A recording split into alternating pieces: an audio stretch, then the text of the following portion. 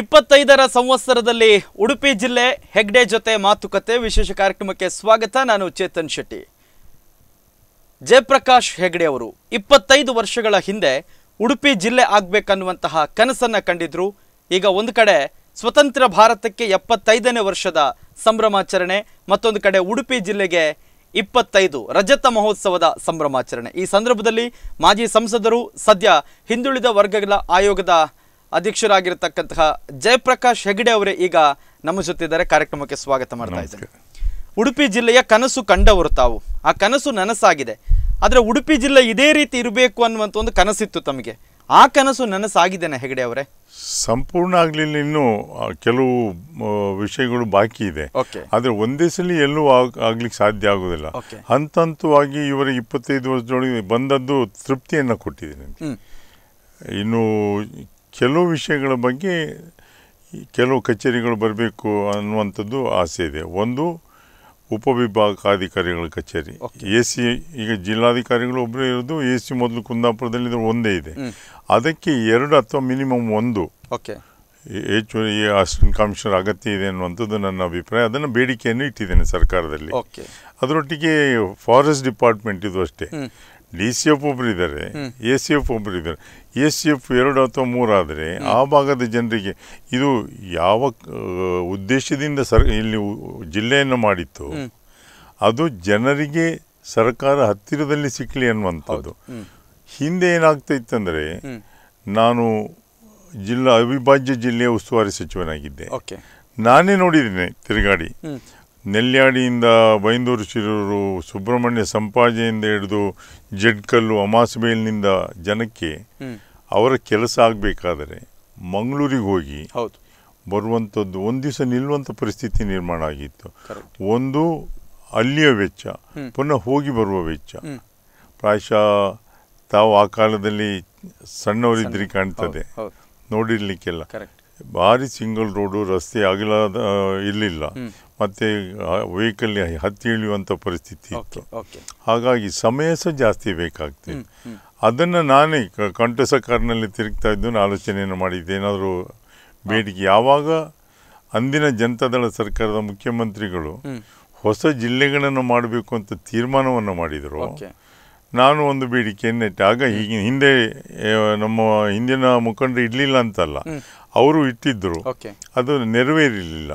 ಈಗ ನನ್ನೊಟ್ಟಿಗೆ ಆವತ್ತು ಡಾಕ್ಟರ್ ಆಚಾರ್ಯ ಅವರು ಎಂ ಎಲ್ ಸಿ ಆಗಿದ್ದರು ಸಭಾಪತಿಯವರು ಎಂ ಎಲ್ ಎ ಆಗಿದ್ದರು. ವೀರಪ್ಪ ಮೊಯ್ಲಿ ಅವರು ಕಾರ್ಕಳದಲ್ಲಿ ಎಂ ಎಲ್ ಎ ಆಗಿದ್ದರು ಹಾಗೆ ಸುಮಾರು ಜನ ಇದ್ದರು. ಅವರೆಲ್ಲರೂ ಯಾವಾಗ ಹುಂಡೇಕರ್ ಸಮಿತಿ ವರದಿ ಬಂತು ಗದ್ದಿಗೌಡರ ಸಮಿತಿ ವರದಿ ಬಂತು ಈ ಒಂದು ತೀರ್ಮಾನ ತಗೊಂಡ್ರು. ನಂದು ಒಂದು ಬೇಡಿಕೆಯನ್ನು ಇಟ್ಟೆ ಆ ಸಂದರ್ಭದಲ್ಲಿ ರಾಜ್ಯದಲ್ಲಿ ಒಟ್ಟು ಎಷ್ಟು ಜಿಲ್ಲೆಗಳು ಏಳು ಜಿಲ್ಲೆಗಳ ಜಿಲ್ಲೆಗಳಾಯಿತು ಹೊಸ ಜಿಲ್ಲೆಗಳು. ಜಿಲ್ಲೆಗಳಾಯಿತು. ಹೊಸ ಜಿಲ್ಲೆಗಳು. ಅದರಲ್ಲಿ ಉಡುಪಿ ಒಂದು. ಉಡುಪಿ ಒಂದು ಕೊನೆಯಲ್ಲಿ ಸೇರಿದ್ದು ಕೊನೆ ಗಳಿಗೆಯಲ್ಲಿ ಕೊನೆಯಲ್ಲಿ ಸೇರಿದ್ದದು. ಯಾಕಂದ್ರೆ ಎಲ್ಲರ ಅಭಿಪ್ರಾಯ ಇತ್ತು ಇದು ಬಹಳ ಚಿಕ್ಕದಾಗ್ತದೆ ಅಂತ ಉಡುಪಿ ಜಿಲ್ಲೆ. ನಂದು ವಾದ ಇಷ್ಟೇ ಇತ್ತು. ಏರಿಯಾ ಚಿಕ್ಕದಿರ್ಬೋದು ಜನಸಂಖ್ಯೆ ಬಹಳ ಜಾಸ್ತಿ ಇದೆ. ಅದಕ್ಕಿಂತ ಜಾಸ್ತಿ ಮಂಗಳೂರಿಗೆ ಹೋಗಿ ಬರುವಂಥದ್ದು ಬಹಳ ಕಷ್ಟದ ಕೆಲಸ ಜನರಿಗೆ ಅಂತ ಹೇಳಿದೆ ನಾನು. ಅದಕ್ಕೆ ಜೆ ನಮ್ಮ ಅಂದಿನ ಮುಖ್ಯಮಂತ್ರಿ ಜೆ ಎಚ್ ಪಟೇಲ್ರು ಸ್ವಲ್ಪ ಲಿಬರಲ್ ಅವರು. ಓಕೆ. ಕೇಳ್ತಾ ಇದ್ದೀನಿ ಕೊಟ್ಬಿಡುವ ಅಂತ. ಇದೇ ವಿಷಯವನ್ನು ನಿನ್ನೆ ಎಂ ಸಿ ನಾರಾಯಣವರಿಗೆ ಮಾತಾಡಿದ್ದೆ ನಾನು. ಯಾಕಂದರೆ ನಾನು ನಾವೆಲ್ಲ ಒಟ್ಟಿಗೆ ಮಂತ್ರಿಮಂಡಲದಲ್ಲಿ ಕೆಲಸವನ್ನು ಮಾಡಿದವರು. Okay okay. ಅದು ಆರರೊಟ್ಟಿಗೆ ಒಂದು ಏಳಾಯಿತು. ಈಗ ಉಭಯ ಜಿಲ್ಲೆಗಳು ಜೊತೆಯಲ್ಲಿದ್ದು ಈ ಡಿವೈಡ್ ಆಗುವ ಸಂದರ್ಭದಲ್ಲಿ ಒಂದಷ್ಟು ವಿರೋಧಗಳೆಲ್ಲ ವ್ಯಕ್ತವಾಗುವಂಥದ್ದು ಸಹಜ. ಅಂದರೆ ಒಟ್ಟಿಗಿದ್ದದನ್ನು ಡಿವೈಡ್ ಮಾಡಬಾರ್ದು ಅಂತೇಳಿ. ಆ ಥರದ ಒಂದಷ್ಟು ವಿರೋಧಗಳೇನಾದರೂ ವ್ಯಕ್ತ ಆಯ್ತಾ ದಕ್ಷಿಣ ಕನ್ನಡದಿಂದ? ಚೂರು ವ್ಯಕ್ತ ಆಗಲಿಲ್ಲ. ನಾನು ಇವತ್ತು ಅವತ್ತು ಹೇಳಿದ್ದಿಷ್ಟೇ. ಆಡಳಿತಾತ್ಮಕವಾಗಿ ನಾವು ಬೇರ್ಪಟ್ಟಿದ್ದೇವೆ ಬಿಟ್ಟರೆ ಭಾವನಾತ್ಮಕವಾಗಿ ಓಕೆ. ನಾವು ಇವತ್ತಿಗೂ ಒಂದೇ ಇದ್ದೇವೆ. ಯಾರಿಗೂ ನಾವು ಬೇರೆ ಜಿಲ್ಲೆಯವರನ್ನು ಭಾವನೆ ಇಲ್ಲ ಇವತ್ತು. ಆದ್ದರಿಂದ it was a smooth affair ಏನು ತೊಂದರೆ ಆಗಲಿಲ್ಲ. ಯಾರು ವಿರೋಧವನ್ನು ಮಾಡಲಿಲ್ಲ. ಈಗ ಒಂದು ಹೊಸ ಜಿಲ್ಲೆಯನ್ನು ರಚನೆ ಮಾಡುವುದಕ್ಕಿಂತಲೂ ಆ ಜಿಲ್ಲೆಯನ್ನು ಮತ್ತೆ ಡೆವಲಪ್ ಮಾಡುವಂಥದ್ದು ತುಂಬ ಕಷ್ಟಕರ. ಆಡಳಿತಾತ್ಮಕ ವಿಚಾರದಲ್ಲಿರ್ಬೋದು ಕೆಲಸ ಕಾರ್ಯಗಳಾಗಬೇಕು. ಆ ಸಂದರ್ಭದ ಸವಾಲುಗಳು ಹೇಗಿತ್ತು ಜಯಪ್ರಕಾಶ್? ಜಿಲ್ಲಾಧಿಕಾರಿಗಳ ಕಚೇರಿ ಬಂತು ಜಿಲ್ಲಾ ಪಂಚಾಯಿತಿ ಇಲ್ಲಿಗೆ ಬೇರೆ ಆಯಿತು. ಆದರೆ ಆ ಅಧಿಕಾರಿಗಳ ಏನು ಇಲ್ಲಿಗೆ ಕಳಿಸ್ತಾರೆ ಹೊಸದಾಗಿ ನೇಮಕ ಮಾಡುವಂಥದ್ದು. ಅಲ್ಲಿ ಬೇರೆ ಬೇರೆ ಕಡೆಯಿಂದ ಸ್ವಲ್ಪ ಸ್ವಲ್ಪ ಕೊಟ್ಟರು. ತಕ್ಷಣದಲ್ಲಿ ಎಲ್ಲ ಕಚೇರಿಗಳು ಬರೋದಿಲ್ಲ. ಓಪನ್ ಆಗಲಿಲ್ಲ. ಹಂತ ಹಂತವಾಗಿ ಬಂದದ್ರಿಂದ ಇವತ್ತು. ಪ್ರಾಯಶಃ ಎಲ್ಲ ಕಚೇರಿಗಳು ಉಡುಪಿ ಜಿಲ್ಲೆಗೆ ಬಂದಾಗಿದೆ. ಯಾವ ಇಲಾಖೆದು ಬಾಕಿ ಇದೆ ಅಂತ ನಾನಂತೂ ಭಾವಿಸೋದಿಲ್ಲ ಓಕೆ ಓಕೆ. ಸೊ ಇನ್ನು ಉಡುಪಿ ಜಿಲ್ಲೆಯಲ್ಲಿ ಆಗಿನ ಒಂದು ಇಪ್ಪತ್ತೈದು ವರ್ಷಗಳ ಹಿಂದೆ ನೋಡೋದಾದರೆ ಇಷ್ಟು ಶಿಕ್ಷಣ ಸಂಸ್ಥೆಗಳು ಇರಲಿಲ್ಲ ಅಥವಾ ಇಷ್ಟು ದೊಡ್ಡ ಮಟ್ಟದಲ್ಲಿ ಡೆವಲಪ್ ಆಗಿರಲಿಲ್ಲ. ಹಾಗೆ ಇಲ್ಲಿ ಮೂಲಭೂತ ಸೌಕರ್ಯಗಳ ಒಂದು ವ್ಯವಸ್ಥೆ ಹೇಗಿತ್ತಂತೆ? ಉಡುಪಿ ಸಹ ತಾಲೂಕು ಕೇಂದ್ರ ಆಗಿತ್ತು. ಓಕೆ. ಒಂದು ವೇಳೆ ಜಿಲ್ಲೆ ಆಗದಿದ್ದರೆ ಇಷ್ಟು ಅಭಿವೃದ್ಧಿ ಆಗ್ಲಿಕ್ಕೆ ಸಾಧ್ಯ ಆಗ್ತಾ ಇರಲಿಲ್ಲ. ಉಡುಪಿ ಜಿಲ್ಲೆ ಆದದ್ರಿಂದ ಕೇಂದ್ರ ಆದದ್ರಿಂದ ಆ, ಶಿಕ್ಷಣ ಸಂಸ್ಥೆಗಳು ಆಗಲೇ ಇತ್ತು ಮಣಿಪಾಲದ್ದು. ಬೇರೆ ಬೇರೆ ಬ್ರಹ್ಮಾವರದಲ್ಲೆಲ್ಲ ಇತ್ತು. ಆದರೆ ಎಲ್ಲ ಭಾಗದಲ್ಲಿ ಹೊಸ ಹೊಸ ಶಿಕ್ಷಣ ಸಂಸ್ಥೆಗಳು ಬಂತು. ಮತ್ತು ಇನ್ವೆಸ್ಟ್ಮೆಂಟ್ ಬರಲಿಕ್ಕೆ ಶುರುವಾಯಿತು. ಅದೇ ನಿರೀಕ್ಷೆ ಮಾಡಿದ ಪ್ರಮಾಣದಲ್ಲಿ ಇನ್ವೆಸ್ಟ್ಮೆಂಟ್ ಬರಲಿಲ್ಲ. ಯಾಕಂದರೆ ನಮ್ಮ ಭಾಗ ಸ್ವಲ್ಪ ಒಂದು ಭಾಗದಲ್ಲಿ ಸಮುದ್ರ ಒಂದು ಭಾಗದಲ್ಲಿ ಘಾಟ್ಸ್ ಇರೋದ್ರಿಂದ ಸ್ವಲ್ಪ sensitive area eco sensitive area ಅದರಿಂದ ನಾವು ನಿರೀಕ್ಷೆ ಮಾಡುವಂಥದ್ದು sensitive eco sensitive friendly okay okay industries ಬರಬೇಕು ಅಂತ ಸಾಫ್ಟ್ವೇರ್ ಇಂಡಸ್ಟ್ರೀಸ್ ಬಂದರೆ ಸುಲಭ ಸ್ವಲ್ಪ ಸುಲಭ ಆಗ್ತದೆ ಅಂತ ಈಕೋ ಫ್ರೆಂಡ್ಲಿ ಇಂಡಸ್ಟ್ರೀಸ್ ಬಂದರೆ ಭಾಳ ಒಳ್ಳೇದಾಗ್ತದೆ ಅಂತ ಭಾವನೆ. ಅದಕ್ಕೆ ರೋಬೋ ಸಾಫ್ಟ್ ಒಂದು ಬಂದಿದೆ ಇಲ್ಲಿ. ಅದಾದ ಮೇಲೆ ಮಂಗಳೂರು ದೊಡ್ಡ ದೊಡ್ಡ ಸಾಫ್ಟ್ವೇರ್ ಕಂಪನೀಸ್. ಇಲ್ಲಿ ಬರಲಿಲ್ಲ. ಮೇ ಬಿ ಈ ಇನ್ವೆಸ್ಟ್ಮೆಂಟ್ ಮಾಡುವವರು. ಹತ್ತಿರದಲ್ಲಿ ಯಾವುದಾದ್ರೂ ಇಂದ ನಿರೀಕ್ಷೆ ಮಾಡ್ತಾರೆ. ಮಂಗಳೂರಿನಲ್ಲಿ ಇದೆ. ಅವರಿಗೆ ಬಂದು ಬೆಳಿಗ್ಗೆ ಬಂದು ಸಾಯಂಕಾಲ ಹೋಗೋ ಪರಿಸ್ಥಿತಿ ಇದ್ರೆ ಈಗ ಶುರುವಾಗಿದೆ ಅದು. ಬರಲಿಕ್ಕೆ ಬೆಂಗಳೂರಿಂದ ಬಂದು ಕೆಲಸ ಮುಗಿಸಿ ಸಾಯಂಕಾಲ ಹೋಗುವಂಥದ್ದು. ಆದರೆ ಇಲ್ಲಿ ಇನ್ನೂ ಹೆಚ್ಚು ಇನ್ವೆಸ್ಟ್ಮೆಂಟ್ ಬಂದು ಎಂಪ್ಲಾಯ್ಮೆಂಟ್ ಜನರೇಟ್ ಆಗಬೇಕು ಅನ್ನೋಂಥದ್ದು ನನ್ನದೊಂದು ಆಸೆ. ಯಾಕಂದರೆ ನಮ್ಮ ಮಕ್ಕಳು ದೂರ ಹೋಗಿ ಅಲ್ಲಿ ಉದ್ಯೋಗವನ್ನು ಹುಡ್ಕೊಂಡು ಹೋಗೋದಕ್ಕಿಂತ ಇಲ್ಲಿಯೇ ಅವರಿಗೆ ಉದ್ಯೋಗ ಸಿಕ್ಕಿದರೆ ಅವರಿಗೆ ಅವರ ವೆಚ್ಚವೂ ಕಮ್ಮಿ ಆಗ್ತದೆ. ಈಗ ಆ ಇಪ್ಪತ್ತೈದು ವರ್ಷಗಳ ಹಿಂದಿನ ಕಥೆಯನ್ನು ನೀವು ಮೆಲುಕು ಹಾಕೋದಾದ್ರೆ ಈಗಿನ ಮಣಿಪಾಲ ಯಾವ ರೀತಿ ಇತ್ತು ಹೆಗಡೆ ಅವರೇ ಆಗ? ಈಗಿನ ಮಣಿಪಾಲ ಪ್ರಾಯಶಃ ಅದು ಮಣಿಪಾಲ್ ಅನ್ನುವಂಥ ಹೆಸರು ಅವತ್ತು ಇತ್ತು. ಅದು ಇಷ್ಟು ದೊಡ್ಡದಾಗಿ ಬೆಳೆ ಬೃಹದಾಕಾರವಾಗಿ ಬೆಳೆದಿರಲಿಲ್ಲ.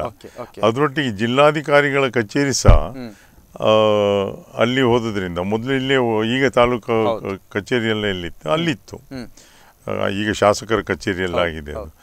ಆದರೆ ಅಲ್ಲಿ ಹೋದ ಮೇಲೆ ಅಷ್ಟು ದೊಡ್ಡ probably I must thank doctor Acharya late doctor Acharya ಅವರು ಮಂತ್ರಿಗಳಾಗಿದ್ದಾಗ ಅಲ್ಲಿಂದ ಆ ಅನುದಾನವನ್ನು ತಂದು ಅದನ್ನು ಕಟ್ಟಿದಂಥ ಸುಂದರವಾದ ಸ್ಥಳ. ಅದನ್ನು ರಿಸ್ಯೂಮ್ ಮಾಡಬೇಕಾದ್ರೆ ಡಾ ನಮ್ಮ ಅಂದಿನ ಕಂದಾಯ ಸಚಿವರಾದ ಜಾಲಪ್ನವರು ಸ್ವತಃ ಬಂದಿದ್ದರು ಅದೊಂದು ಜಾಗವನ್ನು ರಿಸರ್ವ್ ಮಾಡಿ ಹೋಗಲಿಕ್ಕೆ.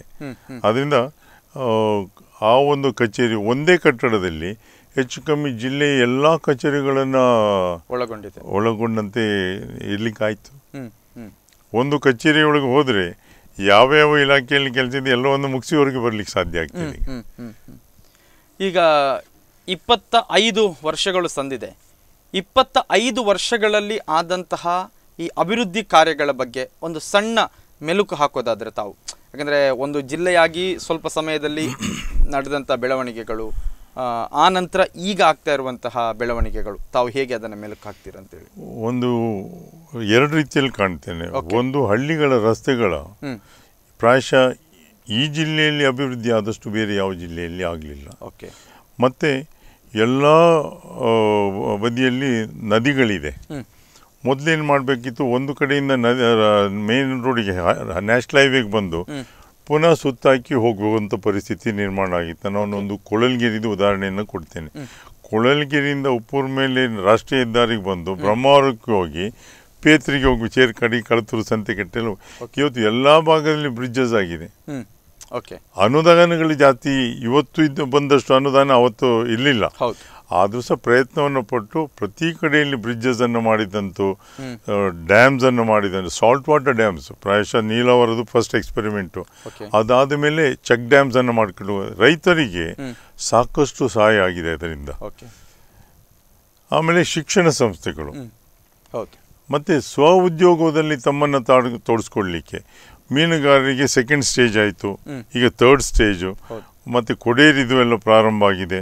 ಸೊ ಇವೆಲ್ಲವೂ ಒಂದು ಹಂತದಲ್ಲಿ ಬೇರೆ ಒಂದೇ ತಾಲೂಕು ಕೇಂದ್ರ ಆಗಿದ್ದರೆ ಇದೆಲ್ಲ ಆಗ್ಲಿಕ್ಕೆ ಸಾಧ್ಯ ಆಗೋದಿಲ್ಲ. ಉಡುಪಿ ಪ್ರಾಯಶಃ ಉಡುಪಿ ಪೇಟೆಯನ್ನೇ ನೋಡಿದರೆ ತುಂಬ ಅಭಿವೃದ್ಧಿ ಆಗಿದೆ. ಅಂದಿಗೂ ಇಂದಿಗೂ ಭಾಳ ವ್ಯತ್ಯಾಸ ಕಾಣ್ತದೆ. ಎಸ್ ನಾವು ಇಪ್ಪತ್ತೈದು ವರ್ಷದ ಹಿಂದೆ ನೋಡಿದ ಉಡುಪಿಗೂ ಉಡುಪಿ ಜಿಲ್ಲೆಗೂ ಇಂದು ನೋಡಿದ ಉಡುಪಿಗೂ ಉಡುಪಿ ಜಿಲ್ಲೆಗೂ ಭಾಳ ವ್ಯತ್ಯಾಸ ಅಭಿವೃದ್ಧಿ ಆಗಿದೆ. ಒಂದು ಹೋಲಿಕೆಯನ್ನು ಮಾಡುವುದಾದರೆ. ಇಡೀ ರಾಜ್ಯದಲ್ಲಿ ಕೇವಲ ಹೊಸದಾಗಿ ನಿರ್ಮಾಣ ಆದಂಥ ಏಳು ಜಿಲ್ಲೆಯಲ್ಲಿ ಅಲ್ಲ ಹೆಚ್ಚಿನ ಜಿಲ್ಲೆಗಳಿಗೆ ಒಂದು ಕಂಪೇರ್ ಮಾಡಿದರೆ ನನ್ನ ಅಂದಿನ ಜಿಲ್ಲಾಧಿಕಾರಿಗಳಾಗಿದ್ದವರು ಕಲ್ಪನಾ ಅವರು ಪ್ರಥಮ ಜಿಲ್ಲಾಧಿಕಾರಿ.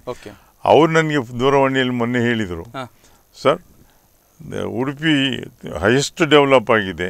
ಕೇವಲ ಹೊಸ ಜಿಲ್ಲೆಗಳಿಗೆ ಕಂಪೇರ್ ಮಾಡೋದಲ್ಲ ಹಳೆ ಜಿಲ್ಲೆಗಳಿಗೆ ಕಂಪೇರ್ ಮಾಡಿದ್ರೆ ಉಡುಪಿ ತುಂಬ ಡೆವಲಪ್ ಆಗಿದೆ ಅಂತ ಹೇಳ್ತಾ ಇದ್ದರು ಓಕೆ ಸೊ ಆ ಮಟ್ಟದಲ್ಲಿ ಈಗ ಪ್ರಾಬಲ್ಯವನ್ನು ಮೆರೆದಿದೆ.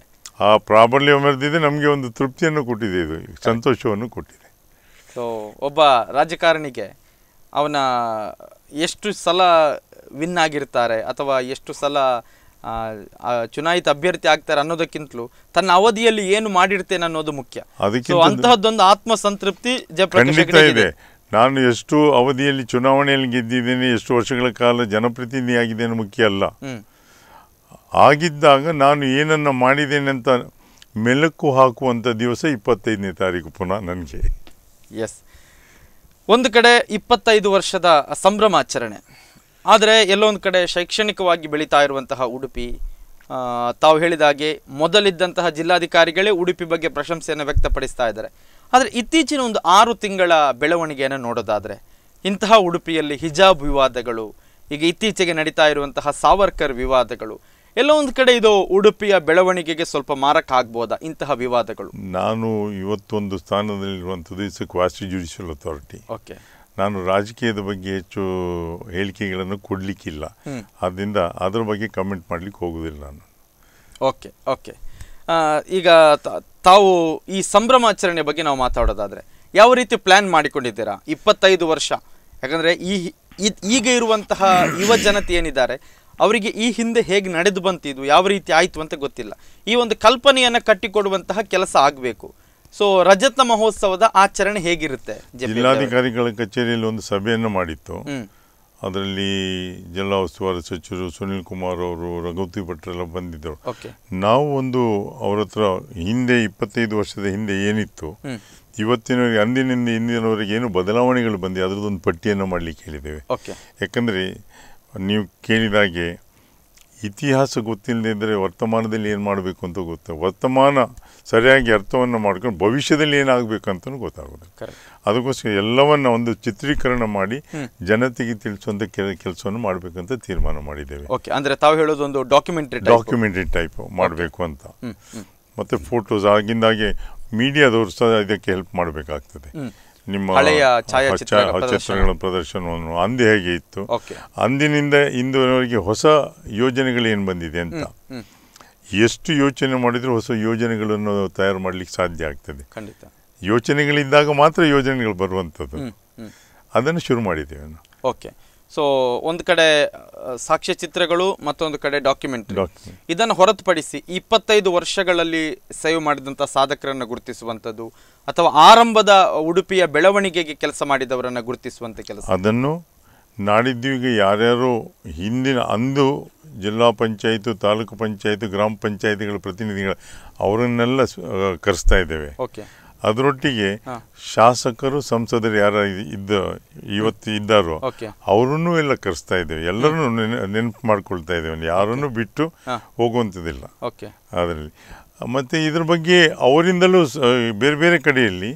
ಅವ್ರಿಗೆ ಬರುವಂಥ ವ್ಯವಸ್ಥೆ ಮಾಡಿ ಮುಂದಿನ ದಿನಗಳಲ್ಲಿ ಇದು ಪ್ರಥಮ ಉದ್ಘಾಟನೆ ನಂತರ ಪ್ರತಿ ತಾಲೂಕುಗಳಲ್ಲಿ ಒಂದೊಂದು ಸಭೆಯನ್ನು ಪ್ರತಿ ಇಪ್ಪತ್ತೈದನೇ ತಾರೀಕಿಗೆ ಇನ್ನೊಂದು ಆರು ತಿಂಗಳ ಕಾಲ. ಪ್ರಾಯಶಃ ಇಪ್ಪತ್ತಾರನೇ ಜನವರಿಗೆ ರಿಪಬ್ಲಿಕ್ ಡೇ ಕಾರ್ಯಕ್ರಮ ಇದೆ.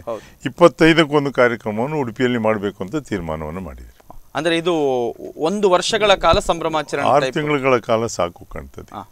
ಸಾಕಾಗುತ್ತೆ. ಸಾಕಾಗುತ್ತೆ. ಓಕೆ ಸೊ ಈಗ ಅಂದು ಮೂರೇ ತಾಲೂಕಿತ್ತು. ಇವತ್ತು ಏಳು ತಾಲೂಕು ಆಗಿದೆ ನಾನು ಅವತ್ತು ಹೇಳಿದ್ದೆ. ನಾನು ಮಾತಾಡುವಾಗ ನನ್ನ ತವರು ಕುಂದಾಪುರ ಹುಟ್ಟಿದ್ದು ಕಾರ್ಕಳ ನನ್ನನ್ನು ರಾಜಕೀಯವಾಗಿ ಬೆಳೆಸಿದ್ದು ಬ್ರಹ್ಮಾವರ ಅಂತ ಉಡುಪಿ ತಾಲೂಕು ಅಂತ ಹೇಳಿದ್ದೆ. ಆದರೆ ಇವತ್ತು ಹಾಗಲ್ಲ ಏಳು ತಾಲೂಕು ಆಗಿದೆ. ಅವತ್ತು ಮೂರಿದ್ದದ್ದು ಇವತ್ತು ಏಳಾಗಿದೆ ಅದರಿಂದ ಜನರಿಗೆ ತಾಲೂಕು ಕೇಂದ್ರಗಳಾದ ಮೇಲೆ ಅಲ್ಲಿ ಹತ್ತಿರ ಆಯ್ತಲ್ಲ. ಹೌದು. ಕೆಲಸ ಮಾಡಿಕೊಳ್ಳಿಕ್ಕೆ ಆದರೆ ಕೆಲಸ ಆಗ್ತದೆ ಅನ್ನುವಂಥದ್ದನ್ನು ಸ್ವಲ್ಪ ಪರಿಶೀಲನೆ ಮಾಡುವಂಥದ್ದು ಬಹಳ ಅಗತ್ಯ. ಯಾರು ಜಿಲ್ಲಾ ಪಂಚಾಯಿತು ತಾಲೂಕು ಪಂಚಾಯಿತು ಮತ್ತೆ ಕಂದಾಯ ಇಲಾಖೆ ಕಚೇರಿಗಳಿಗೆ ಹೋಗ್ತಾರೆ. ಯಾವ ಉದ್ದೇಶಕ್ಕಾಗಿ ನಾವು ಇದನ್ನು ಜಿಲ್ಲೆ ಮಾಡಿತ್ತು ತಾಲೂಕು ಕೇಂದ್ರಗಳನ್ನು ಮಾಡಿತ್ತು ಜನಕ್ಕೆ ಸಹ ಓದು ಕೂಡಲೇ ಕೆಲಸ ಮಾಡಿಕೊಂಡು ಬರುವಂಥ ಪರಿಸ್ಥಿತಿ ನಿರ್ಮಾಣ ಮಾಡುವಂಥದ್ದು ಅಧಿಕಾರಿಗಳ ಮೇಲಿದೆ. ಎಸ್ ಈಗ ಈ ಇಪ್ಪತ್ತ ಐದನೇ ವರ್ಷದ ಕಾರ್ಯಕ್ರಮ ಏನು ಒಂದು ದೊಡ್ಡ ಕಾರ್ಯಕ್ರಮವನ್ನು ಪ್ಲಾನ್ ಮಾಡ್ತೀರಾ? ಅದು ಎಷ್ಟು ದಿವಸಗಳ ಕಾಲ ಇರುತ್ತೆ? ಈಗ ಸಾಂಸ್ಕೃತಿಕ ಕಾರ್ಯಕ್ರಮ ಅಥವಾ ಸಭಾ ಕಾರ್ಯಕ್ರಮ ಈ ತರದೊಂದು ಪ್ಲಾನ್ ರೂಪುರೇಷೆ ಸಿದ್ಧ ಆಗಿದೆ ಈಗ ಒಂದು ಇಪ್ಪತ್ತೈದನೇ ತಾರೀಕಿಗೆ ಅದರ ಮುಂಚೆ ಇಪ್ಪತ್ತ್ಮೂರರಿಂದ ಮಾನ್ಯ ಸುನಿಲ್ ಕುಮಾರ್ ಅವರು ರಘುಪತಿ ಭಟ್ರು ಕಾರ್ಕಳದಿಂದ ಹಿಡಿದು ಭುವನೇಂದ್ರ ಕಾಲೇಜಿಂದ ಒಂದು ಮ್ಯಾರಥಾನನ್ನು ಮಾಡ್ತಾರೆ ಅಂತ ಉಡುಪಿಗೆ. ಅದು ಪ್ರಾರಂಭ. ಈ ಕಾರ್ಯಕ್ರಮ ಆದಮೇಲೆ ನಂತರ ತಾಲೂಕು ಕೇಂದ್ರಗಳಲ್ಲಿ ಮಾಡುವಂತ ತೀರ್ಮಾನ ಮಾಡಿ ಇಪ್ಪತ್ತೈದು ವರ್ಷಗಳ ಸಂಭ್ರಮಾಚರಣೆಯ ಈ ಸಂದರ್ಭದಲ್ಲಿ ಜೆ ಪಿ ಹೆಗಡೆ ಅವರಿಗೆ ಇನ್ನೂ ಕೂಡ ಉಡುಪಿ ಜಿಲ್ಲೆಗೆ ಒಂದು ಮೆಡಿಕಲ್ ಕಾಲೇಜ್ ಆಗಬೇಕನ್ನುವಂಥ ಕನಸು ನನಸಾಗಿಲ್ಲ ಅನ್ನೋದ್ರ ಬಗ್ಗೆ ಏನಾದರೂ ಕೊರಗು ಇದೆ ಖಂಡಿತ ಇದೆ. ನಿನ್ನೆ ಒಂದು ಕಡೆಯಲ್ಲಿ ಹೇಳಿಕೆಯನ್ನು ಕೊಟ್ಟೆ ಅದನ್ನು. ಒಂದು ವೈದ್ಯಕೀಯ ಕಾಲೇಜ್ ಆದ ಕೂಡಲೇ ನಮ್ಮ ಮಕ್ಕಳಿಗೆ ಮೆಡಿಕಲ್ ಸೀಟ್ ಸಿಗ್ತದೆ ಅಂತ ನಾನು ಯಾಕಂದ್ರೆ ನೀಟ್ ಎಕ್ಸಾಮ್ನಲ್ಲಿ ಬೇರೆ ಬೇರೆ ಕಡೆ ಆದರೆ ಉಚಿತ ವೈದ್ಯಕೀಯ ಒಂದು ನೆರವು ಸಿಕ್ಕುವಂಥ ಪರಿಸ್ಥಿತಿ ನಿರ್ಮಾಣ ಆಗ್ತದೆ. ಇಲ್ಲದಿದ್ದರೆ ಖಾಸಗಿ ಆಸ್ಪತ್ರೆಗಳಿಗೆ ಹೋಗಿ ಟ್ರೀಟ್ಮೆಂಟ್ ತಗೊಂಡು ಬರುವಂಥ ವೆಚ್ಚ ಇವತ್ತು ಸಾಧ್ಯಕ್ಕೆ ಪಾಪದವನಿಗೆ ಸಾಧ್ಯ ಆಗೋದಿಲ್ಲ. ಆ- ಆಯುಷ್ಮಾನ್ ಕಾರ್ಡ್ ಇದೆ ಬೇರೆ ಬೇರೆ ಕಾರ್ಡ್ಗಳಿದ್ದರೂ ಸಹ ಸಂಪೂರ್ಣ ವೆಚ್ಚವನ್ನು ಭರಿಸ್ಲಿಕ್ಕೆ ಸಾಧ್ಯ ಆಗೋದಿಲ್ಲ ಅದಕ್ಕೆ ನಾನು ಒಂದು ಕಡೆಯಲ್ಲಿ ಓದಿದ್ದೆ. ಒಂದು ಪೇಷಂಟು ಡಿಸ್ಚಾರ್ಜ್ ಆಗುವಾಗ ಓಕೆ. ಬಿಲ್ಲಿಂಗ್ ಕೌಂಟ್ರಿಗೆ ಹೋಗ್ತಾನಲ್ಲ. ಆ ಬಿಲ್ಲನ್ನು ನೋಡಿ ಅವ್ರು ಹೇಳ್ತಾರೆ we should have emergency room next to the billing counter ಅಂತ. ಬಿಲ್ಲಿಂಗ್ ಕೌಂಟರ್ನ ಬದಿಯಲ್ಲಿ ಒಂದು ಎಮರ್ಜೆನ್ಸಿ ರೂಮ್ ಇದ್ದರೆ ಏನಾದರೂ ಶಾಕ್ ಆದರೆ ತಗೊಂಡೋಗಿ ಹಾಕುವಂಥ ಪರಿಸ್ಥಿತಿ ನಿರ್ಮಾಣ ಆಗ್ತದೆ ಏನೋ ಅನ್ನುವಂಥ ಭಾವನೆ. ಯಾಕಂದರೆ ನನ್ನ ದೋಸ್ತಿಯಮ್ಮನ್ನು ಹೇಳಿದೆ ಎರಡು ದಿವಸಕ್ಕೂ ಮೂರು ದಿವಸಕ್ಕೆ ಇಲ್ಲಿ ಅಲ್ಲ. ಮೂರು ಲಕ್ಷ ರೂಪಾಯಿ ಆಯಿತು ನನಗೆ ಅಂತ ದಿವಸಕ್ಕೆ ಒಂದು ಲಕ್ಷ. ದಿವಸಕ್ಕೆ ಒಂದು ಲಕ್ಷ. ಇಟ್ಸ್ ಇಂಪಾಸಿಬಲ್ ಸಾಮಾನ್ಯ ಮನುಷ್ಯರಿಗೆ ಇದನ್ನು ಕಟ್ ಕಟ್ಟಲಿಕ್ಕೆ ಸಾಧ್ಯ ಆಗದ ಪರಿಸ್ಥಿತಿ. ಅದಕ್ಕೋಸ್ಕರ ವೈದ್ಯಕೀಯ ಕಾಲೇಜು ಅದರಲ್ಲಿ ಮಲ್ಟಿ ಸ್ಪೆಷಾಲಿಟಿ ಓಕೆ ಎಲ್ಲ ಡಿಪಾರ್ಟ್ಮೆಂಟ್ಸು ಅದರಲ್ಲಿ ಬರಬೇಕಾಗ್ತದೆ. ಅದಕ್ಕೋಸ್ಕರ ಮೆಡಿಕಲ್ ಕಾಲೇಜ್ ಬೇಕು ಅಂದರೆ ಮೆಡಿಕಲ್ ಸ್ಟೂಡೆಂಟ್ಸ್ಗೋಸ್ಕರ ಅಂತ ನಾನು ಹೇಳ್ತೇನೆ. ಯಾಕಂದರೆ ಅದನ್ನು ನೀಟ್ ಎಕ್ಸಾಮ್ನಿಂದ ಎಲ್ಲಿ ಅವರು ಬರ್ತಾರೋ ಗೊತ್ತಿಲ್ಲ. ಆದರೆ ಜಿಲ್ಲೆಯ ಜನತೆಗೆ. ಜಿಲ್ಲೆಯ ಜನತೆಗೆ ವೈದ್ಯಕೀಯ ಸೌಲಭ್ಯಗೋಸ್ಕರ ಬೇಕಾಗ್ತದೆ. ಮತ್ತು ಟ್ರಾಮಾ ಸೆಂಟರ್ಸ್ ಹೈವೇಯಲ್ಲಿ ಆದಷ್ಟು ಬೇಕಾಗ್ತದೆ. ಮೊನ್ನೆ ಬೈಂದೂರು ಶಿರೂರಿನಲ್ಲಾದ ಅಪಘಾತ ನೋಡಿದಾಗ ಅಲ್ಲಿಂದ ಇಲ್ಲಿವರೆಗೆ ಕರ್ಕೊಂಡು ಬರೋದಕ್ಕಿಂತ ಸ್ಥಳೀಯವಾಗಿ ನೆರವು ಸಿಕ್ಕುವಂಥ ಪರಿಸ್ಥಿತಿ ನಿರ್ಮಾಣ ಆಗಬೇಕು. ಆ ಮತ್ತು ಮೀನುಗಾರರಿಗೆ ಕರಾವಳಿಯಲ್ಲಿ ಅಲ್ಲಲ್ಲಿ ಸರ್ವಋತು ಬಂದರುಗಳು. ಈಗ ಒಂದು ಇದರ ಮೇ ಬಂದರಿನಲ್ಲಿ ಬೋಟ್ಸ್ ನಿಲ್ಲುವಂಥದ್ದು ನೋಡಿದರೆ ಒತ್ತಡ ಜಾಸ್ತಿ ಆಗಿದೆ. ಹೆಜ್ಜೆ ಮಾಡಿದ್ದು ಕಂಪ್ಲೀಟ್ ಆದರೆ ಅದು ಒಂದು ಭಾಗ ಆಗ್ತದೆ. ಕೊಡೇರಿದು ಇನ್ನೂ ಸ್ವಲ್ಪ ಡ್ರೆಜ್ಜಿಂಗ್ ಇಲ್ಲಾಗಿ ಅಭಿವೃದ್ಧಿ ಆದರೆ ಆ ಭಾಗಕ್ಕೆ ಸಹಾಯ ಆಗ್ತದೆ. ಇದೆಲ್ಲವೂ ಇದು ಅಭಿವೃದ್ಧಿ ಅನ್ನುವಂಥದ್ದು ನಿರಂತರವಾಗಿ ನಡೀತಾ ಇರುವಂಥದ್ದು ಬಿಟ್ಟರೆ ನಿಂತ ನೀರಾಗ್ಲಿಕ್ಕೆ ಸಾಧ್ಯವೇ ಇಲ್ಲ. ಎಸ್ ಮತ್ತೊಂದು ಕಡೆ ಈ ಪ್ರವಾಸೋದ್ಯಮದ ವಿಚಾರಕ್ಕೆ ಬಂದಾಗ ನಮ್ಮ ಪಕ್ಕದ ರಾಜ್ಯ ಈ ಬೀಚ್ ಟೂರಿಸಮ್ ಅನ್ನು ಬಳಸಿಕೊಂಡು ಯಾವ ರೀತಿ ಅವರ ಪ್ರಮುಖ ಆದಾಯವಾಗಿ ಇವತ್ತು ಟೂರಿಸಮ್ ಇದೆ. ಅಂತಹ ಎಲ್ಲ ಅವಕಾಶಗಳು ಉಡುಪಿ ಜಿಲ್ಲೆಗೆ ಇದ್ದರೂ ಕೂಡ ಸಾಕಷ್ಟು ಬೀಚ್ಗಳಿದೆ ನಮ್ಮಲ್ಲಿ ಪ್ರವಾಸಿ ತಾಣಗಳಿದೆ. ಆದರೆ ನಿರೀಕ್ಷಿತ ಮಟ್ಟದಲ್ಲಿ ನಾವು ಪ್ರವಾಸೋದ್ಯಮದಲ್ಲಿ ಯಶಸ್ಸು ಕಾಣಿಲ್ಲ ಅನ್ನುವಂಥ ಕೋಸ್ಟಲ್ ಟೂರಿಸಂ ಇನ್ನೂ ಅಭಿವೃದ್ಧಿ ಆಗಲೇಬೇಕಾಗ್ತದೆ ಯಾಕಂದರೆ ಟೂರಿಸಂ ಜಿಲ್ಲೆಯ ಆರ್ಥಿಕ ಸುಧಾರಣೆಯಲ್ಲಿ ಒಂದು ಭಾಗ ಆಗ್ತದೆ ಸರ್ಕಾರಕ್ಕೂ ಆದಾಯ ಆಗ್ತದೆ ಇದು. ನಾನು ಹಿಂದೆ ಜೆ ಎಚ್ ಪಟೇಲ್ ಜೊತೆ ಮಂತ್ರಿಯಾಗಿದ್ದಾಗಲೇ ನೋಡಿದ್ದೆ. ಜಾರ್ಜ್ ಫೆರ್ನಾಂಡೀಸ್ ಅವರು ಸೀ ಬರ್ಡನ್ನು ನೋಡಲಿಕ್ಕೆ ಅಂತ ಬರುವವರಿದ್ದರು. ಜೆ ಎಚ್ ಪಟೇಲ್ರು ನನ್ನನ್ನು ಕರ್ಕೊಂಡು ಗೋವಾಗೆ ಹೋಗಿ. ಗೋವಾದಿಂದ ಹೆಲಿಕಾಪ್ಟರ್ನಲ್ಲಿ ಬರ್ತಾ ಇತ್ತು. ಆ ಕಾಲದಲ್ಲಿ ಗೋವಾದಿಂದ ಏರ್ಪೋರ್ಟಿಂದ ಕಾರವಾರ ಬಾರ್ಡರ್ ಬರುವವರೆಗೆ ಕಂಪ್ಲೀಟ್ ಡೆವಲಪ್ ಆಗಿತ್ತು ಟೂರಿಸಮ್ ಅಲ್ಲಿಂದ ಹೆಚ್ಚಿಗೆ ಏನೂ ಇಲ್ಲ. ಇವತ್ತು ಸಹ ಅಂತ ಅಭಿವೃದ್ಧಿ ಆಗಲಿಲ್ಲ ಅಂತ ನೋವು ನನಗಿದೆ. ಓಕೆ ಅದಕ್ಕೆ ಆದಷ್ಟು ಈಗ ಸಿ ಆರ್ ಝಡ್ ಆ್ಯಕ್ಟ್ನಲ್ಲಿ ಸ್ವಲ್ಪ ತಿದ್ದುಪಡಿಯನ್ನು ತಂದು ಗೋವಾ ಮತ್ತು ಕೋ ಕೇರಳದಲ್ಲಿ ಯಾವ ರೀತಿಯಲ್ಲಿ ರಿಲ್ಯಾಕ್ಸ್ ಮಾಡಿದ್ದಾರೆ. ಇಲ್ಲಿಯೂ ಅದನ್ನು ಮಾಡಿದಾಗ ಸ್ವಲ್ಪ ಅಭಿವೃದ್ಧಿ ಆಗ್ತದೆ. ಯಾಕಂದರೆ ಕರಾವಳಿಯಲ್ಲಿ ಕೆಲವು ಕಾಟೇಜಸ್ ಆಗುವಂಥದ್ದು ನೋಡಿದ್ದೇನೆ. ಆದರೆ ಈ ರಿಸ್ಟ್ರಿಕ್ಷನ್ಸ್ ಇರೋದ್ರಿಂದ. ಅವರಿಗೆ ತುಂಬ ಅಭಿವೃದ್ಧಿ ಮಾಡಲಿಕ್ಕೂ ಹೆದರಿಕೆ ಆಗ್ತದೆ ನಾಳೆ ಎಲ್ಲಾದರೂ ಕ್ಲೋಸ್ ಆದರೆ ಅಂತ. ಅದಕ್ಕೋಸ್ಕರ ಆದಷ್ಟು ಬೇಗ ರಿಸ್ಟ್ರಿಕ್ಷನ್ಸನ್ನು ಈಗ ಟೂ ಹಂಡ್ರೆಡ್ ಮೀಟರ್ಸ್ ಇದ್ದದನ್ನು ಫಿಫ್ಟಿ ಮೀಟರ್ಸಿಗೆ ತಂದಿಟ್ಟರೆ ಯಾವುದು at least for tourism okay relax ಮಾಡಿಬಿಟ್ರೆ ಖಂಡಿತವಾಗಿ ಈ ಭಾಗದ ಅಭಿವೃದ್ಧಿ ಆಗಲಿಕ್ಕೆ ಜನ ಬರ್ತಾರೆ ಹೋಗ್ತಾರೆ. ಈ ಭಾಗದ ಯುವಕ ಯುವತಿಯರಿಗೆ ಉದ್ಯೋಗ ಸಿಕ್ಕುವಂಥದ್ದು. ಅದು ಒಂದು ಭಾಗ. ಆದರೆ ಜೆ ಪಿ ಒಂದು ಪ್ರಾಕ್ಟಿಕಲ್ ಪ್ರಶ್ನೆ. ಈ ಈ ಭಾಗದಲ್ಲಿ ಒಂದಷ್ಟು ಸಂಘಟನೆಗಳು ಸ್ಟ್ರಾಂಗ್ ಇದೆ. ನೀವು ಒಂದು ಕಡೆ ಟೂರಿಸಂ ಡೆವಲಪ್ ಆಗಬೇಕು ಒಂದು ಕಡೆ ಅಲ್ಲಿ ರಿಲ್ಯಾಕ್ಸೇಷನ್ ಕೊಡಬೇಕು. ಆದರೆ ಇಲ್ಲಿ ಸಂಸ್ಕೃತಿ ಅಥವಾ ನಮ್ಮ ಧರ್ಮದ ವಿಚಾರದಲ್ಲಿ ಆ ಥರದ ಒಂದು ಇದನ್ನ ಕೊಡಬಾರ್ದು ಅನ್ನುವಂಥದ್ದು ಮತ್ತು ಪ್ರವಾಸಿಗರೇ ಒಂದಷ್ಟು ಬಾರಿ ಹೆದರುವಂತಹ ಸಂದರ್ಭಗಳು ಕೂಡ ಇದೆ. ಸೊ ಇದನ್ನ ಎರಡನ್ನ ಬ್ಯಾಲೆನ್ಸ್ ಮಾಡ್ಲಿಕ್ಕೆ ಬ್ಯಾಲೆನ್ಸ್? ಮಾಡಲೇಬೇಕಾಗ್ತದೆ ಡೆವಲಪ್ ಆಗಬೇಕಾದ್ರೆ ಸ್ವಲ್ಪ ಬ್ಯಾಲೆನ್ಸ್ ಮಾಡಬೇಕಾದ್ರೆ ನಮ್ಮ ಸಂಸ್ಕೃತಿಯನ್ನು ಸಂಪೂರ್ಣ ಬಿಟ್ಟು ಎಲ್ಲದಕ್ಕೂ ಅವಕಾಶ ಕೊಡಬೇಕಂತ ನಾನು ಹೇಳುವುದಿಲ್ಲ ಓಕೆ ಈಗ ಗೋ ಗೋಕರ್ಣ ಸೈಡ್ನಲ್ಲಿ ಸ್ವಲ್ಪ ಇಂಪ್ರೂವ್ ಆಗಿದೆ. ಹೌದು. ಇನ್ಸ್ಪೈಟ್ ಆಫ್ ಅಲ್ಲಿ ದೇವಸ್ಥಾನಗಳಿದೆ. ಹೌದು. ಆದರೂ ಸಹ ಟೂರಿಸಂ ಡೆವಲಪ್ ಆಗಿದೆ. ಅದೇ ರೀತಿಯಲ್ಲಿ ನಮ್ಮ ಭಾಗದಲ್ಲಿ ಸಹ ರಿಸ್ಟ್ರಿಕ್ಷನ್ಸ್ ಇರಬೇಕಾಗ್ತದೆ. ಡಿಪಾರ್ಟ್ ಪೊಲೀಸ್ ಡಿಪಾರ್ಟ್ಮೆಂಟ್ ಇದೆ. ಕೋಸ್ಟಲ್ ಸೆಕ್ಯೂರಿಟಿ ಫೋರ್ಸ್ನವರು ಇರ್ತಾರೆ ಕರ್ನಾಟಕದ್ದು. ಸ್ವಲ್ಪ ಜಾಗ್ರತೆ ಮಾಡಬೇಕಾಗ್ತದೆ. ಯಾಕಂದರೆ ಅಲ್ಲಿಯ ಜನ ವಾಸಿಸುವಂಥದ್ದು ಈಗ ಮೀನುಗಾರರು ಹೆಚ್ಚಾಗಿ ಅಲ್ಲಿರುವಂಥದ್ದು ಅವರಿಗೆ ಅಸಹ್ಯ ಆಗುವ ಪರಿಸ್ಥಿತಿಯಲ್ಲಿ ಆಗಬಾರ್ದು ಹೌದು. ಮನೆಯವರು ಇದ್ದಾರೆ ಅಂತ ಭಾವನೆಯಿಂದ ಅಲ್ಲಿಗೆ ಸ್ವಲ್ಪ ಅಲ್ಲೆಲ್ಲ ಸ್ವಲ್ಪ ಬೀಚ್ ಸೈಡ್ನಲ್ಲಿ ಮನೆಗಳು ಕಮ್ಮಿ. ಹೌದು. ಆದ್ರೆ ಇಲ್ಲಿ ಒಂಥರ ಮೀನುಗಾರಿಕೆ ಮತ್ತೆ ಇದು ಜೊತೆ ಜೊತೆಯಲ್ಲಿ ಹೋಗಿ ಮನೆಗಳು ಬಹಳ ಹತ್ತಿರದಲ್ಲಿ ಸಮುದ್ರದ ಬೀಚಿನ ಹತ್ತಿರ ಇದೆ. ಅದನ್ನ ಅದರಿಂದ ಸ್ವಲ್ಪ ಅದನ್ನ ನಾವು ರಿಸ್ಟ್ರಿಕ್ಷನ್ಸು ಹಾಕ್ಬೇಕಾಗಿದೆ. ರೀಸನಬಲ್ ರಿಸ್ಟ್ರಿಕ್ಷನ್ಸ್ ಇಲ್ಲಾಂದ್ರೆ ಯಾವ್ದಾದ್ರೊಂದು ಜನನಿಬಿಡ ಪ್ರದೇಶವನ್ನ ಸೆಲೆಕ್ಟ್ ಮಾಡಿ. ಹೌದು. ಆ ಪ್ರದೇಶದಲ್ಲೇ ಹೆಚ್ಚು ಅಭಿವೃದ್ಧಿ ಮಾಡಬೇಕಾಗ್ತದೆ. ಅದು ಅದು ಉಳಿದ ಜಾಗದಲ್ಲಿ. ಮೇ ಬಿ ಅವರು ರೆಸಾರ್ಟ್ಸ್ ಅನ್ನು ಮಾಡಿ ಅದಕ್ಕೆ ಬೇಲಿಯನ್ನು ಹಾಕ್ಕೊಂಡು. ಒಳಗಡೆ ಏನಾಗ್ತದೆ ಹೊರಗಡೆ ಗೊತ್ತಾಗಬಾರ್ದು. ಮತ್ತೆ ಶಬ್ದ ತುಂಬ ಜಾಸ್ತಿ ಅಲ್ಲಿ ಸ್ಥಳೀಯವಾಗಿ ಜನರಿಗೆ ತೊಂದರೆಯೂ ಆಗಬಾರ್ದು ಇದು. ಎಸ್ ಇನ್ನೊಂದು ವಿಚಾರಕ್ಕೆ ಬರೋದಾದರೆ ನೈಸರ್ಗಿಕ ಸಂಪತ್ತು ನಮ್ಮಲ್ಲಿ ಹೇರಳವಾಗಿದೆ. ಅದರಲ್ಲೂ ಕೂಡ ಇಲ್ಲಿ ನಾವು ಮರಳನ್ನು ಗಮನಿಸ್ಬೋದು ಆದರೆ ಇವತ್ತು ಸ್ಥಳೀಯವಾಗಿ ಒಬ್ಬ ಮನೆ ಕಟ್ಟಬೇಕಿದ್ರೆ ನೈಸರ್ಗಿಕವಾಗಿ ಸಿಗುವಂಥ ಒಂದು ಮರಳಿಗೂ ಕೂಡ ದುಪ್ಪಟ್ಟು ಬೆಲೆಯನ್ನು ಕೊಡಬೇಕಾದಂಥ ಒಂದು ಅನಿವಾರ್ಯತೆಗೆ ನಾವು ಬಂದೊದಗಿದ್ದೇವೆ. ಇದಕ್ಕೆ ರಾಜಕೀಯ ವ್ಯವಸ್ಥೆ ಕಾರಣನೋ ಅಥವಾ ನಮ್ಮಲ್ಲಿರ್ತಕ್ಕಂಥ ನಿಯಮಾವಳಿ ಕಾರಣನೋ ಒಂದು ಆತ್ಮಾವಲೋಕನದ ಅಗತ್ಯ ಇದೆ. ಆದರೆ ನಮ್ಮಲ್ಲಿರ್ತಕ್ಕಂಥ ನೈಸರ್ಗಿಕ ಸಂಪತ್ತನ್ನು ಬಳಸಿಕೊಂಡು ಅಭಿವೃದ್ಧಿ ಕೆಲಸಗಳು ನಿಮ್ಮ ಕನಸು ಏನಂತ ಹೇಳಿ. ನನಗೆ ಇವರದ್ದು ರಿಸ್ಟ್ರಿಕ್ಷನ್ಸು ಕಾನೂನು ಸ್ವಲ್ಪ ತಿದ್ದುಪಡಿ ಆಗಬೇಕಾಗ್ತದೆ. ಓಕೆ ಈಗ ಮರಳು ತೆಗಿಲೇಬಾರ್ದು ಅಂತ ಈಗ ಮರಳು ತೆಗೆದೇ ಇದ್ದರೆ ಫ್ಲಡ್ ಆಗೋದು ಜಾಸ್ತಿ ಆಗ್ತದೆ. ರೈತರಿಗೂ ತೊಂದರೆ ಇದೆ ಅದರಲ್ಲಿ.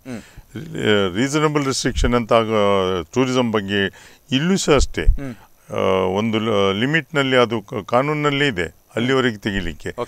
ಏನಾಗ್ತದೆ ಕೆಲವರು ವೈಯಕ್ತಿಕ ದ್ವೇಷದಿಂದ ಎನ್ ಜಿ ಟಿಗೂ ಹೋಗ್ತಾರೆ. ಕೋರ್ಟ್ ಕೋರ್ಟಿಗೆ ಈ ಸಮಸ್ಯೆಗಳು ಜಾಸ್ತಿ ಆಗಿದೆ.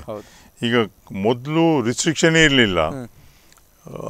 ಇದು ಮರಳು ಬಹಳ ಅಗ್ಗವಾಗಿ ಸಿಗ್ತಾ ಇತ್ತು. ಹೌದು. ಈಗ ರಿಸ್ಟ್ರಿಕ್ಷನ್ ಜಾಸ್ತಿ ಆಗಿದೆ. ಮರಳು ರೇಟು ಜಾಸ್ತಿ ರೇಟು ಜಾಸ್ತಿ ಆಗಿದೆ. ಯಾವಾಗ ಇರೋ ರಿಸ್ಟ್ರಿಕ್ಷನ್ ಜಾಸ್ತಿ ಆಗ್ತದೆ ಕದ್ದು ಮಾರೋದು ಜಾಸ್ತಿ ಆಗ್ತಾ ಇದೆ. ಸರ್ಕಾರದ ಆದಾಯ ಹೋಯಿತು. ಜನರಿಗೂ ಮರಳು ಬಹಳ ವೆಚ್ಚದಲ್ಲಿ ಸಿಕ್ಕುವಂಥ ಪರಿಸ್ಥಿತಿ ನಿರ್ಮಾಣ ಆಗುತ್ತೆ. ಅದಕ್ಕೋಸ್ಕರ ಸ್ವಲ್ಪ ಅದರ ಬಗ್ಗೆ ಬ್ಯಾಲೆನ್ಸ್ ಆಗಲೇಬೇಕು ಅನ್ನುವಂಥದ್ದು ನಾನು ಯಾಕಂದರೆ ಹಿಂದೆ ಅದು ಅವಕಾಶ ಇದೆ. ನಾನೇ ಹೋಗಿ ಕೇಂದ್ರದ ಎನ್ವೈರ್ಮೆಂಟ್ ಡಿಪಾರ್ಟ್ಮೆಂಟಿಂದ ಕೆಲವರು ಸರ್ಕ್ಯುಲರ್ಸ್ ತಂದು ಕೊಟ್ಟು ಇಲ್ಲಿ ರಿಲ್ಯಾಕ್ಸ್ ಮಾಡಿಸಿದ್ದೆ. ಓಕೆ ಸಂಸದನಾಗಿದ್ದಾಗ. ಅದು ಪುನಃ ಎನ್ ಎನ್ ಜಿ ಟಿ ಹೋಯ್ತು ಎನ್ ಜಿ ಟಿಯಲ್ಲಿ ವೇಕೇಟ್ ಆಯಿತು. ಆ ಇದನ್ನೆಲ್ಲ ಸರ್ಕ್ಯುಲರ್ ಎಲ್ಲ ಹಾಕಿದ ಮೇಲೆ. ಈಗ ಪುನಃ ಹೋಗಿ ಸರ್ಕ್ಯುಲರ್ ಇದು ಎನ್ ಜಿ ಟಿ ಅವರು ಏನು ಮಾಡಿದ್ದಾರೆ? ಎಕ್ಸ್ಟ್ರಾಕ್ಷನ್ ಮಾಡ್ಬೋದು. ಸೇಲ್ ಮಾಡಲಿಕ್ಕಿಲ್ಲ ಅಂತ ಆ ಮರಳನ್ನು ಏನು ಮಾಡೋದು? ತೆಗೆದಾದ ಮೇಲೆ ಅದಕ್ಕೆ ಒಂದು ಏನಾದರೂ ಎರಡು. ಅಂತ್ಯ ಮಾಡಲೇಬೇಕಾಗ್ತಲ್ಲ ಅದು ಕದ್ದು ಹೋಗೋದಕ್ಕಿಂತ ದಿಸ್ ಇಸ್ ಬೆಟ್ರ್ ಅಂತ ನಂದು. ರಿಸ್ಟ್ರಿಕ್ಷನ್ ಇರಲೇಬೇಕು ಆದರೆ ಎಲ್ಲವನ್ನೂ ನಾವು ಅವರು ಇಂಥದ್ದೇ ಕಾರಣಕ್ಕಾಗ್ತದೆ ಪರಿಸರ ಹಾಳಾಗ್ತದೆ ಅನ್ನೋ ಪರಿಸರ ರಕ್ಷಣೆಯನ್ನು ಮಾಡಿಕೊಂಡು ಅದನ್ನು ತೆಗೆದಿದ್ದರೆ ಈಗ ಸಿಕ್ಕಿ ಬೀಳೋದು ಯಾರು ಪಾಪ? ಹಳ್ಳಿಯಲ್ಲಿ ಒಂದು ತೋಡಿನಲ್ಲಿ ಹೋಗಿ ಸ್ವಲ್ಪ ಹೊಯ್ಗೆಯನ್ನು ತೆಗೆದು ಮನೆ ಕಟ್ಟುವನ್ನು ಹಿಡ್ಕೊಂಡು ಹೋಗ್ತಾರೆ ಹೌದು. ತಮ್ಮ ಪ್ರಕಾರ ಸಾಂಪ್ರದಾಯಿಕ ನಾಡದೋಣಿ ಮರಳುಗಾರಿಕೆ ಸೂಕ್ತನ ಅಥವಾ ಡ್ರೆಜ್ಜಿಂಗ್ ಡ್ರೆಜ್ಜಿಂಗ್ ಬಿಡಬಾರ್ದು. ಡ್ರೆಜ್ಜಿಂಗ್ ಅಂತೂ ಬಿಡಲಿ. ಸಾಂಪ್ರದಾಯಿಕ ಮರಳುಗಾರಿಕೆ is much better than dredging ಮಾಡುವಂಥದ್ದು. ಓಕೆ ಯಾಕಂದರೆ ತುಂಬ ಡೀಪ್ ಹೋದಾಗ ಸಮುದ್ರ ನದಿ ದಂಡೆ ಕೊರತೆಗಳು ಜಾಸ್ತಿ ಆಗ್ತದೆ. ಬಟ್ ಅದಾಗಲೇಬಾರ್ದು. ವ್ಯವಸ್ಥೆಯಲ್ಲಿ ಒಂದೊಂದು ಸಲ ನಡೆಯುತ್ತೆ ಅದು. ನಡೀತಂದರೆ ಅದು ರಿಸ್ಟ್ರಿಕ್ಷನ್ ಮಾಡಬೇಕು. ಮೈನ್ಸ್ ಆ್ಯಂಡ್ ಜಿಯಾಲಜಿಗೆ ಹೋದರೆ ಅವ್ರ ಹತ್ರ ಸ್ಟಾಫ್ ಇಲ್ಲ. ಉಳಿದದ್ದು ಡಿಪೆಂಡ್ ಆಗಬೇಕಾದದ್ದು ಪೊಲೀಸ್ ಡಿಪಾರ್ಟ್ಮೆಂಟ್ನಲ್ಲಿ ಇದು ಜಿಲ್ಲಾಡಳಿತ ಮೇಲೆ ಹೊಂದ್ಕೊಂಡಿದೆ. ರಿಸ್ಟ್ರಿಕ್ಷನ್ ಇಲ್ಲದಿದ್ದರೆ ತುಂಬ ಜಾಸ್ತಿ ತೆಗೆದ್ರು. ಮತ್ತು ಹೆಚ್ಚಾಗಿ ನಮ್ಮಲ್ಲಿ ಸಾಲ್ಟ್ ವಾಟ್ರು ಸ್ಯಾಂಡ್ಗಿಂತ ಇದು ಸೀನಿಯರ್ನ ನೀರಿನ ಉಪ್ಪಿದೆಯಲ್ಲ. ಮನೆಗಳಿಗೆ ಕಟ್ಟಲಿಕ್ಕೆ ಅದೇ ಬೇಕು. ಅಗೇನ್ಸ್ಟ್ ಉಪ್ಪು ನೀರಿನಿಂದ ಉಪ್ಪು ಹೊಯ್ಗೆಯನ್ನು ತೆಗೆದು ಮನೆ ಕಟ್ಟಿದರೆ ಎಸ್ ಅದು ಪುನಃ ಇರೋಜನ್ ಸ್ಟಾರ್ಟ್ ಆಗಿ ಕಬ್ಬಿಣ ಎಲ್ಲ ಬೇಗ ಬಿದ್ದೋಳು ಹೋಗುವಂಥ ಪರಿಸ್ಥಿತಿ. ಎಸ್ ಜಯಪ್ರಕಾಶ್ ಹೆಗಡೆ ಅವರಿಗೆ ಇನ್ನೊಂದು ಪ್ರಾಕ್ಟಿಕಲ್ ಕ್ವಶನ್ ತಾವು ಇಪ್ಪತ್ತೈದು ವರ್ಷಗಳ ಈ ಉಡುಪಿ ಜಿಲ್ಲೆಯ ಹೊಸ್ತಿಲಲ್ಲಿ ತಾವು ಏನು ಕನಸು ಕಂಡಿದ್ರಿ? ಈಗ ಇಪ್ಪತ್ತೈದು ವರ್ಷ ಆಗಿದೆ ಆ ಕನಸು ನನಸಾಗಿ. ಬಟ್ ಈ ಭಾಗದಲ್ಲಿ ಕೆಲವರು ಹೇಳೋದಿದೆ ಇನ್ನು ಸ್ವಲ್ಪ ಸಮಯ ಹೋದರೆ ನಮ್ಮಲ್ಲಿರ್ತಕ್ಕಂತಹ ವೃದ್ಧರನ್ನು ನೋಡಿಕೊಳ್ಳೋದಕ್ಕೆ ವೃದ್ಧಾಶ್ರಮಗಳ ಸಂಖ್ಯೆ ಜಾಸ್ತಿ ಆಗ್ಬೋದು. ಬಿಕಾಸ್ ಇಲ್ಲಿ ಕಲ್ತಂತಹ ಮಕ್ಕಳು ಇವತ್ತು ಅನಿವಾರ್ಯವಾಗಿ ಹೊರ ದೇಶನೋ ಹೊರ ಜಿಲ್ಲೆನೋ ಹೊರ ರಾಜ್ಯಕ್ಕೆ ಹೋಗಬೇಕಾದಂಥ ಒಂದು ಪರಿಸ್ಥಿತಿ ನಿರ್ಮಾಣ ಆಗಿದೆ. ಇದು ಇದೇ ರೀತಿಯಾಗಿ ಮುಂದುವರಿದರೆ ಈಗಿನ ವಯಸ್ಸಾದವರನ್ನು ನೋಡಿಕೊಳ್ಳೋದಕ್ಕೆ ಒಂದು ವೃದ್ಧಾಶ್ರಮ ಇಲ್ಲಾದ್ರೆ ಜನ ಇಡಬೇಕಾದಂತ ಪರಿಸ್ಥಿತಿ. ಪ್ರಾಕ್ಟಿಕಲ್ ಆಗಿ ಈ ಒಂದು ಸಮಸ್ಯೆಗೆ ಏನು ಪರಿಹಾರ? ಒಂದು ಇಲ್ಲಿಯೇ ಎಂಪ್ಲಾಯ್ಮೆಂಟ್ ಜನರೇಟ್ ಮಾಡಿ ಅವರಿಗೆ ಉದ್ಯೋಗವನ್ನು ಕೊಡುವಂಥದ್ದು. ಯಾರಿಗೆ ಹೊರಗಡೆಯಲ್ಲಿ ಕೆಲಸ ಸಿಗ್ತದೆ ಅವರನ್ನು ವೃದ್ಧಾಶ್ರಮಕ್ಕೆ ಹಾಕ್ಬೇಕಂತೆಲ್ಲ ತಗೊಂಡೋಗಿ ಅಲ್ಲಿ ಸಾಕ್ಬೋದಲ್ಲ. ಅಲ್ಲ. ತಂದೆ ತಾಯಿ ಮೇಲೆ ಪ್ರೀತಿ ಇದ್ದರೆ ಯಾಕೆ ಈಗ ನಾವೆಲ್ಲ ತಂದೆ ತಾಯಿಯನ್ನು ಮನೇಲಿ ಇಟ್ಕೊಂಡು ಸಾಕ್ಲಿಲ್ವಾ? ಸಾಕಿದ್ದೇವೆ. ಹಾಗೆ ನಾವು ನಿರೀಕ್ಷೆ ಮಾಡೋದು ನಮ್ಮ ಮಕ್ಕಳು ಮುಂದೆ ನೋಡ್ತಾರೆ ಅನ್ನೋ ಭಾವನೆ ಇರ್ತದೆ. ಮೊನ್ನೆ ಒಂದು ಉದಾಹರಣೆಯನ್ನು ಕೊಟ್ಟು ಕುಂದಕರ್ಣದ ಒಂದು ಕಾರ್ಯಕ್ರಮ ಆಯಿತು. ಅಲ್ಲಿ ಮಾತಾಡುವಾಗ ಹೇಳಿದೆ ಎಲ್ಲ ಬಗ್ಗೆ ಮಾತಾಡಿದಿರಿ. ಈ ಹಿರಿಯರಿಗೆ ಒಂದು ಕಾರ್ಯಕ್ರಮ ಮಾಡಿದ್ದೆ ಜಕ್ಣಿ ಇಕ್ಣಿ ಅಂತ ಮಾಡ್ತಾರೆ ಇಲ್ಲಿ. ಅದನ್ನು ನಮ್ಮ ಸ್ನೇಹಿತರೊಬ್ಬರು ಬಂದಾಗ ಚರ್ಚೆ ಮಾಡಿದರು. ಅದು ಯಾಕೆ ಅಲ್ಲಿ ಮಾಡಿಸ್ತೀರಿ ಅಂತ ಬೇರೆ ಯಾವುದೋ ಆಶ್ರಮದ ಮಠದಲ್ಲಿ ಎಲ್ಲೋ ಮಾಡ್ತೀವಿ ನಾನು ಅವ್ರು ಹೇಳೋದು ಮಕ್ಕಳಿಗೆ ಬಂದು ಮಾಡ್ಲಿಕ್ಕೆ ಆಗದೇ ಇದ್ದಾಗ ಅವ್ರ ಹತ್ರ ದುಡ್ಡು ಕೊಟ್ಟರೆ ಮಾಡ್ತಾರೆ. ಇದು ತಂದೆ ತಾಯಿನ ವೃದ್ಧಾಶ್ರಮಕ್ಕೆ ಹಾಕಿದಾಗೆ ಆಯಿತು ಅಂತ ಹೇಳಿದೆ ನಾನು. ಓಕೆ. ಅವರು ಅಲ್ಲಿ ಬರೋದು ಅಲ್ಲೇ ಮಾಡ್ಬೋದಲ್ಲ ಅವ್ರು ಇದ್ದ ಮನೆಯಲ್ಲೇ ಮಾಡ್ಬೋದಲ್ಲ. ಅವರ ಕಾರ್ಯವನ್ನು ಅವರು ಇದ್ದ ಮನೆಯಲ್ಲಿ ಇಲ್ಲಿಗೆ ಬರಬೇಕೆಂದ್ರೆ ಅಮೆರಿಕದಲ್ಲಿ ಮಾಡಿದ್ರು ಅವರಿಗೆ ತೃಪ್ತಿ ಆಗ್ತದೆ. ನಮಗೆ ಮಾಡುವಂಥ ಕೆಲಸದಲ್ಲಿ ನಮಗೆ ತೃಪ್ತಿ ಬೇಕು. ಬರೇ ಹರಿಕೆ ಆಗಬಾರ್ದು ಅದು. ಆದರೆ ಪ್ರಾಕ್ಟಿಕಲ್ ಆಗಿ ಮಾತಾಡೋದಾದರೆ ಇಲ್ಲಿ ಬ್ಯಾಂಕಿಂಗ್ ಕ್ಷೇತ್ರದ ತವರು ತಾವು ಆಗಲೇ ಹೇಳಿದಾಗೆ ಸಾಫ್ಟ್ವೇರ್ ಡೆವಲಪ್ ಮಾಡೋದಕ್ಕೆ ಎಲ್ಲ ಅವಕಾಶಗಳು ಇದೆ. ಇದನ್ನು ಹೊರತುಪಡಿಸಿದರೆ ಇಲ್ಲಿ ವೈದ್ಯಕೀಯ ಏನು ಕ್ಷೇತ್ರ ಬೆಳವಣಿಗೆ ಆಗಿದೆ. ತಮ್ಮ ಪ್ರಕಾರ ಲೋಕಲ್ ಉದ್ಯೋಗ ಸೃಷ್ಟಿಯಾಗಬೇಕಿದ್ರೆ ಆ, ಒಂದಷ್ಟು ವ್ಯವಹಾರ ಬಿಸ್ನೆಸ್ಗಳನ್ನು ಬಿಟ್ಟು ಈ ದೊಡ್ಡ ಕಂಪೆನೀಸ್ಗಳು ಬರಬೇಕಿದ್ರೆ ಯಾವ ರೀತಿಯ ಕಂಪೆನೀಸ್ಗಳಿಗೆ ಹೆಚ್ಚು ಆಪರ್ಚುನಿಟಿ ಇದೆ? ಈಕೋ ಫ್ರೆಂಡ್ಲಿ ಕಂಪನೀಸ್ಗೆ ಆಪರ್ಚುನಿಟಿ ಇದೆ. ಓಕೆ. ಟೂರಿಸಮ್ ಇನ್ನು ಜಾಸ್ತಿ ಆಗಲೇಬೇಕಾಗ್ತದೆ. ಟೂರಿಸಮ್ ಜಾಸ್ತಿ ಆದಾಗ ನಮ್ಮ ಮಕ್ಕಳು ಪ್ರವೇಶ ಅದರಲ್ಲಿ ದೇ ಗುಡ್. ಪಿ ಆರ್ ಜಾಬ್ನಲ್ಲಿ ಓಕೆ. ಭಾಳ ಹುಷಾರಿದ್ದಾರೆ. ಅವರಿಗೆ ಅಂಥದ್ರಲ್ಲಿ ಕೆಲಸವನ್ನು ಕೊಟ್ಟಾಗ ತಂದೆ ತಾಯಿ ನೋಡ್ಕೊಳ್ಳಿಕ್ಕೂ ಆಗ್ತದೆ ಇಲ್ಲಿ ಇರ್ಲಿಕ್ಕೂ ಆಗ್ತದೆ. ಬಟ್ ತಂದೆ ತಾಯಿನ ನಾನು ದೂರ ಇದ್ದೇನೆ ನನಗೆ ನೋಡ್ಕೊಳ್ಳಿಕ್ಕೆ ಆಗೋದಿಲ್ಲ ಅಂದ್ರೆ ನಾನು ಒಪ್ಪೋದೇ ಇಲ್ಲ. ಓಕೆ. ಅವ್ರು ಎಲ್ಲಿ ಇದ್ರೂ ಸಹ ನೋಡ್ಕೊಳ್ಬೋದು. ಆದ್ರೆ ಅಂದ್ರೆ ಒಂದಷ್ಟು ವ್ಯವಸ್ಥೆಗಳಲ್ಲಿ ಹೆತ್ತವರಿಗೆ ಊರು ಬಿಟ್ಟು ಹೋಗೋದಕ್ಕೆ ಮನಸ್ಸಿರೋದಿಲ್ಲ. ಅಂದ್ರೆ- ಅಂತಹ ಪರಿಸ್ಥಿತಿಗಳು ಕೂಡ ಇದೆ. ಊರು ಬಿಟ್ಟು ಹೋಗ್ಲಿಕ್ಕೆ ಮನಸ್ಸಿರೋದಿಲ್ಲ ಕೆಲವರಿಗೆ ಕರ್ಕೊಂಡು ಹೋಗ್ಲಿಕ್ಕೆ ಮನಸ್ಸಿರೋದಿಲ್ಲ ಎರಡು ಇದೆ. ಅಲ್ಲಿ ನನಗೆ ಮೊನ್ನೆ ಯಾರು ಹೇಳಿದರು. ಭಾಳ ನಗೆ ಬಂತು ನನಗೆ. ಮದುವೆ ಎಂಗೇಜ್ಮೆಂಟ್ ಆಗೋ ಮುಂಚೆ ಮಾತಾಡ್ತಾರಲ್ಲ ಹುಡುಗ ಹುಡುಗಿ. ನಿಮ್ಮನೇಲಿ ನಿಮ್ಮ ಮನೇಲಿ ಓಲ್ಡ್ ಫರ್ನಿಚರ್ಸ್ ಇದೆಯಾ? ಅಂತ ಕೇಳಿದ್ರಂತೆ. ನನ್ನ ಮನೆಗೆ ಬಂದು ಹೇಳಿದ ಮಾತಿದು. ಒಬ್ಬರು ಅಂದರೆ ತಂದೆ ತಾಯಿ ಇದ್ದಾರಂತ ಅಂತ ಕೇಳಲಿಕ್ಕೆ ಓಲ್ಡ್ ಫರ್ನಿಚರ್ಸ್. ಉಂಟಾ? ಅಂತ ಕೇಳಿದ್ದು ಅಂತ. ಅಂಥ ಪರಿಸ್ಥಿತಿ ನಿರ್ಮಾಣ ಆಗಬಾರ್ದು. ನಮ್ಮನ್ನು ಅವ್ರು ಸಾಕಿದಾರಲ್ಲ. ಅದರಿಂದ ನಾವು ಅಷ್ಟು ಬೆಳೆದಿದ್ದೇವೆ ನಮಗೆ ಉದ್ಯೋಗ ಸಿಕ್ಕಿದೆ ಅನ್ನುವಂಥ ಭಾವನೆ ಅವರಲ್ಲಿದ್ದರೆ ಪ್ರಾಯಶಃ ಇದಕ್ಕೆಲ್ಲ ಅವಕಾಶ ಕೊಡಬಾರ್ದು. ಎಲ್ಲದಕ್ಕೂ ಒಂದು ದಾರಿ ಇದೆ. ಅದನ್ನು ಅವ್ರು ನೋಡ್ಕೊಳ್ಬೇಕಾಗ್ತದೆ. ಓಕೆ. ಈಗ ಮುಂದಿನ ಐವತ್ತು ವರ್ಷಗಳಾಗುವ ಸಂದರ್ಭದಲ್ಲಿ ತಮ್ಮ ಕಲ್ಪನೆಯಲ್ಲಿ ಯಾವ ರೀತಿ ಇರಬೇಕು ಉಡುಪಿ? ಏನೆಲ್ಲ ಬದಲಾವಣೆಗಳಾಗಬೇಕು ಅನ್ನುವಂಥದ್ದು? ನನಗೆ ಆದಷ್ಟು ಜಾಸ್ತಿ ಇಂಡಸ್ಟ್ರೀಸ್ ಬರಬೇಕು. ಈಕೋ ಫ್ರೆಂಡ್ಲಿ ಇಂಡಸ್ಟ್ರೀಸ್ ಬರಬೇಕು. ಓಕೆ. ಇಲ್ಲಿಯ ಮಕ್ಕಳಿಗೆ ಇಲ್ಲಿಯೇ ಉದ್ಯೋಗ ಸಿಕ್ಕುವಂಥ ಪರಿಸ್ಥಿತಿ ನಿರ್ಮಾಣ ಆಗಬೇಕು. ನೀವು ಹೇಳಿದಂಥ ಪ್ರಶ್ನೆಗಳು ಉದ್ಭವ ಆಗಬಾರ್ದು ಓಕೆ. ನೇರವಾಗಿ ಇಲ್ಲಿ ಅದರಲ್ಲಿ ನಾನು ನೋಡಿದಂಥದ್ದು ನಮ್ಮ ಪೊಲೀಸ್ ಇಲಾಖೆಯಲ್ಲಿ ಬ್ಯಾಂಕಿಂಗ್ ಕ್ಷೇತ್ರದಲ್ಲಿ ಮೊದಲು ಎಲ್ಲರೂ ಈ syndicate bank Vijaya bank corporation ಬ್ಯಾಂಕ್ನ ನಮ್ಮ ಭಾಗದ ಎಲ್ಲ ಮಕ್ಕಳಿದ್ದರು. ಇವತ್ತು ಯಾರೂ ಇಲ್ಲ. ಹೌದು. ಉದ್ಯೋಗ ಬ್ಯಾಂಕಿಂಗ್ ಸೆಕ್ಟರಿಗೆ ಎಕ್ಸಾಮಿಗೆ ಹೋಗೋದಿಲ್ಲ. ಪೊಲೀಸ್ ಡಿಪಾರ್ಟ್ಮೆಂಟ್ನಲ್ಲಿ ನಿಮ್ಮ ನಿಮ್ಮ ಜಿಲ್ಲೆಯವರು ಅರ್ಜಿ ಹಾಕೋದಿಲ್ಲ ಅಂತ ಹೇಳ್ತಾರೆ. ಅಂದರೆ ಜಿಲ್ಲೆ ಬಿಟ್ಟು ಹೋಗಲಿಕ್ಕೆ ಆಗೋದಿಲ್ಲ ಅನ್ನೋ ಪರಿಸ್ಥಿತಿಯ ಅಥವಾ ಪಾಸ್ ಆಗಲಿಕ್ಕೆ ಆಗೋದಿಲ್ಲ ಅನ್ನೋ ಓದಿದ್ರೆ ಯಾಕಂದರೆ ರಿಸಲ್ಟ್ ನಮ್ಮ ಜಿಲ್ಲೆ ಮತ್ತು ದಕ್ಷಿಣ ಕನ್ನಡ ಜಿಲ್ಲೆ ಹೈಯೆಸ್ಟ್ ಇರುವಾಗ ಇವರು ಓದಿದ್ರೆ ಖಂಡಿತವಾಗಿ ಪರೀಕ್ಷೆಯಲ್ಲಿ ಪಾಸ್ ಆಗ್ತಾರೆ. ಪ್ರಯತ್ನವನ್ನು ಮಾಡಬೇಕು. ಎಲ್ಲ ಕಾಂಪಿಟೇಟಿವ್ ಎಕ್ಸಾಮಿಗೆ ಇವರು ಅಪಿಯರ್ ಆಗಬೇಕಾಗ್ತದೆ. ಒಂದ್ಸಲಿ ಆಗದೆ ಇರ್ಬೋದು ಎರಡು ಸಲ ಆಗದೆ ಇರ್ಬೋದು ಬಟ್ ರಿಪೀಟ್ ಮಾಡ್ತಾ ಇರಬೇಕು. ಎಷ್ಟೋ ಜನ ಎರಡು ಮೂರು ಸಲ ಆದಮೇಲೆ ಪಾಸ್ ಆದದ್ದುಂಟು ಅದಕ್ಕೋಸ್ಕರ ಎಷ್ಟು ಎಕ್ಸಾಮ್ಸ್ ಅವಕಾಶ ಇದೆ ಓಕೆ ಅದರಲ್ಲಿ ಅಪಿಯರ್ ಆಗಬೇಕು ಓದಬೇಕಾಗ್ತದೆ. ಓದಿ ಪರೀಕ್ಷೆ ಕೂತಾಗ ಪಾಸ್ ಆದರೆ ಆಟೋಮೆಟಿಕ್ ಇನ್ನು ಮುಂದೆ ನಾನು ಕಾಲೇಜ್ಗೆಲ್ಲ ಹೋದಾಗ ಹೇಳ್ತೇನೆ. ನಿನ್ನೆ ಒಂದು ಕಾರ್ಯಕ್ರಮದಲ್ಲಿ ಹೇಳಿದ್ದೆ ಹಾಸ್ಟೆಲ್ ಮಕ್ಕಳಿಗೆ ಅಡ್ರೆಸ್ ಮಾಡ್ತಾ. ನೀವು ನನ್ನ ಹತ್ರ ಬಂದರು ಅಥವಾ ಮಿನಿಸ್ಟ್ರ್ ಹತ್ರ ಮಿನಿಸ್ಟ್ರು ಕೂತಿದ್ರು. ಹೋದ್ರು ನಿಮಗೆ ಉದ್ಯೋಗ ಸೃಷ್ಟಿ ಮಾಡಿ ಕೊಡ್ಲಿಕ್ಕೆ ಸಾಧ್ಯ ಆಗೋದಿಲ್ಲ. ಬಂದು ಕೇಳ್ತಾರೆ ಎಲ್ಲಿಯಾದರೂ ಕೆಲಸ ಎಲ್ಲಿ ಎಲ್ಲಿ ಅಂತ ಕೇಳಿದರೆ ಎಲ್ಲಿಯಾದರೂ ಅಡ್ಡಿಲ್ಲ. ಎಲ್ಲಿಯಾದರೂ ಕೆಲಸ ಇಲ್ಲ. ನೀವು ಕ್ಯಾಂಪಸ್ ಇಂಟರ್ವ್ಯೂಲ್ಲಿ ಸೆಲೆಕ್ಟ್ ಆದಾಗ ಬೆಸ್ಟ್ ಹೊರಗೆ ಬಂದ ಮೇಲೆ it's a open field it's a competitive world ನೀವು ಭಾಳ ಕಷ್ಟಪಡಬೇಕಾಗ್ತದೆ. ಅದಕ್ಕೆ ಕಾಲೇಜಿಂದ ಹೊರಗೆ ಬರುವ ಮುಂಚೆ ಕಾಲೇಜ್ ಹೈಸ್ಕೂಲಿಂದ ಶುರು ಮಾಡಬೇಕು. ನಾನು ಏನಾಗಬೇಕು ಅಂತ ಆಲೋಚನೆ ಮಾಡಬೇಕಾಗತ್ತೆ. ತಂದೆ ತಾಯಿಯವರು ಹೇಳಿದ್ದನ್ನು ಸ್ವಲ್ಪ ಕೇಳಬೇಕಾಗ್ತದೆ. ಸ್ವಲ್ಪ ಓದುವಂಥದ್ದು ಕ್ರೀಡೆಯಲ್ಲಿ ಆದರೆ ಕ್ರೀಡೆ ಕಲೆಯಲ್ಲಿ ಆದರೆ ಕಲೆ ಯಾವುದರಲ್ಲಿ ಅವ್ರಿಗೆ ಜಾಸ್ತಿ ಆಸಕ್ತಿ ಇದೆ ತಂದೆ ತಾಯಿ ಅಂದರೆ ಅದಕ್ಕೂ ಸಪೋರ್ಟ್ ಮಾಡಬೇಕಾಗ್ತದೆ.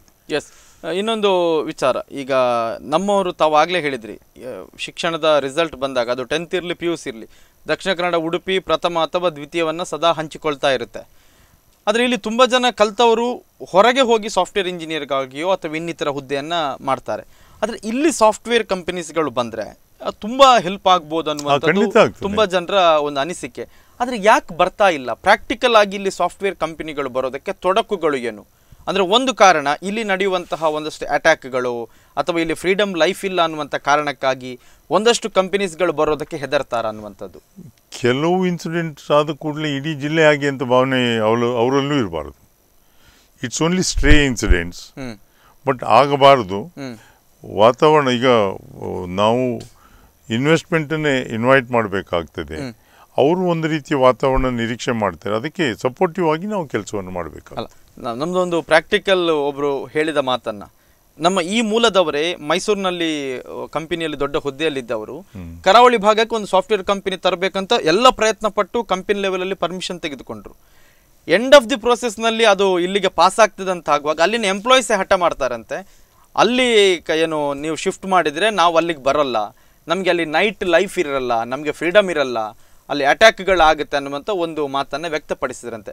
ಅಂದರೆ ಎಲ್ಲೋ ಒಂದು ಕಡೆ ಆಗ ಈಗ ನಡೆದಂಥ ಒಂದು ಎರಡು ಮೂರು ಇನ್ಸಿಡೆಂಟ್ಗಳು ಇಡೀ ಕರಾವಳಿ ಜಿಲ್ಲೆಗೆ ಒಂಥರ ಕಪ್ಪು ಚುಕ್ಕಿಯಾಗಿದೆ ಅದು ಉದಾಹರಣೆ ಆಗಬಾರ್ದು. ಇಲ್ಲಿಯ ಮಕ್ಕಳಿಗೆ ಕೆಲಸ ಕೊಡ್ಬೋದಲ್ಲ ಅವರು? ಅಲ್ಲಿಯ ಮಕ್ಕಳನ್ನೇ ಕರ್ಕೊಂಡು ಬರಬೇಕಂತ ಏನಿಲ್ಲ ಅಲ್ಲ. ಇಲ್ಲಿ ಮಾಡಿದಾಗ ಈಗ ಸೋಬ ಸಾಫ್ಟ್ವೇರ್ ರನ್ ಆಗ್ತಾ ಇಲ್ವಾ? ನಡೀತಾ ಇದೆ. ಮಣಿಪಾಲ್ ಇಂಡಸ್ಟ್ರಿಯಲ್ ಎಸ್ಟೇಟ್ನಲ್ಲಿ ಎಷ್ಟು ಇಂಡಸ್ಟ್ರೀಸ್ ಇಲ್ಲ? ಮಣಿಪಾಲ್ನಲ್ಲಿ ಎಷ್ಟು ಮಕ್ಕಳಿಲ್ಲ ಬೇರೆ ಹೊರಗಿನವರು? ಏನು ತೊಂದರೆ ಆಗಲಿಲ್ಲ. ಇದು ಅವರಿಗೆ ಸಂಬಂಧವೇ ಇಲ್ಲ. ಏನು ನಡೀತಾ ಇದೆ.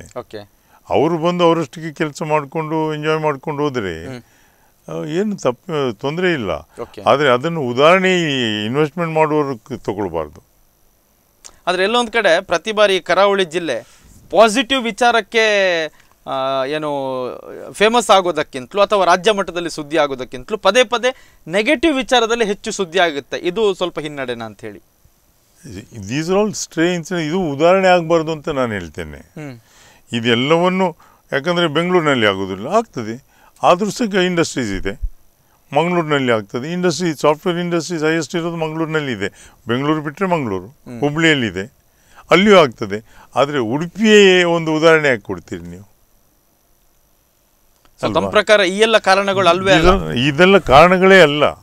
ಸಿ ಜನ ಇಂಡಸ್ಟ್ರೀಸ್ ಬಂದಾಗ. ಉದ್ಯೋಗ ಸೃಷ್ಟಿಯಾದಾಗ ಈ ಮಕ್ಕಳಿಗೂ ಕೆಲಸ ಸಿಕ್ಕಿದಾಗ ಹೊರಗಿಂದ ತನ್ಕೊಂಬಂದು ಇಲ್ಲಿ ಕೆಲಸ ಹಾಕ್ಬಿಡಿ. ಇಲ್ಲಿಯ ಮಕ್ಕಳಿಗೆ ನೀವು ಉದ್ಯೋಗ ಕೊಡಿ. ಆಗ ಎಲ್ಲರೂ ಬ್ಯುಸಿ ಇರ್ತಾರೆ. ಅವ್ರವ್ರ ಕೆಲಸದಲ್ಲಿ ಅವ್ರವ್ರು ಬ್ಯುಸಿ ಇರ್ತಾರೆ. ಎಸ್ ರಾಜ್ಯ ಹಿಂದುಳಿದ ಆಯೋಗದ ಅಧ್ಯಕ್ಷರಾಗಿದ್ದೀರಾ? ನಿಮ್ಮ ಈ ಒಂದು ಆಯೋಗದಲ್ಲಿ ಆಗಿರತಕ್ಕಂತಹ ಕೆಲಸಗಳು ತಮ್ಮ ಅವಧಿಯಲ್ಲಿ ಪ್ಲಾನ್ ಮಾಡಿಕೊಂಡಿರತಕ್ಕಂಥ ಯೋಜನೆಗಳ ಬಗ್ಗೆ ಹೇಳೋದಾದರೆ. ನನಗೆ ಅಂದರೆ ಇದನ್ನು ಬಂದು ಈ ಒಂದು ಅಧಿಕಾರ ಸ್ವೀಕಾರ ಮಾಡುವಾಗ. ಎಲ್ಲರೂ ಹೇಳಿದರು ನನಗೆ. ಕೆಲವು ಕತ್ ಪತ್ರಕರ್ತ ಮಿತ್ರರು ನನಗೆ ಮೆಸೇಜ್ ಡೋಂಟ್ ಎಕ್ಸೆಪ್ಟ್ ಇಟ್ ಅಂತ ಕೇಳಿಸಿದ್ರು. ನಾನು ಹೇಳಿದೆ I talk to you later ಅಂತೇಳಿ ನಾನು ಆಮೇಲೆ ಮಾತಾಡಲಿ ಇದರ ಬಗ್ಗೆ ಅವರು ಚರ್ಚೆ ಮಾಡಲಿಲ್ಲ. ಯಾವುದೇ ಜವಾಬ್ದಾರಿಯನ್ನು ಕೊಟ್ಟರೆ ಕೆಲಸ ಮಾಡಲಿಕ್ಕೆ ಅವಕಾಶ ಇದೆ.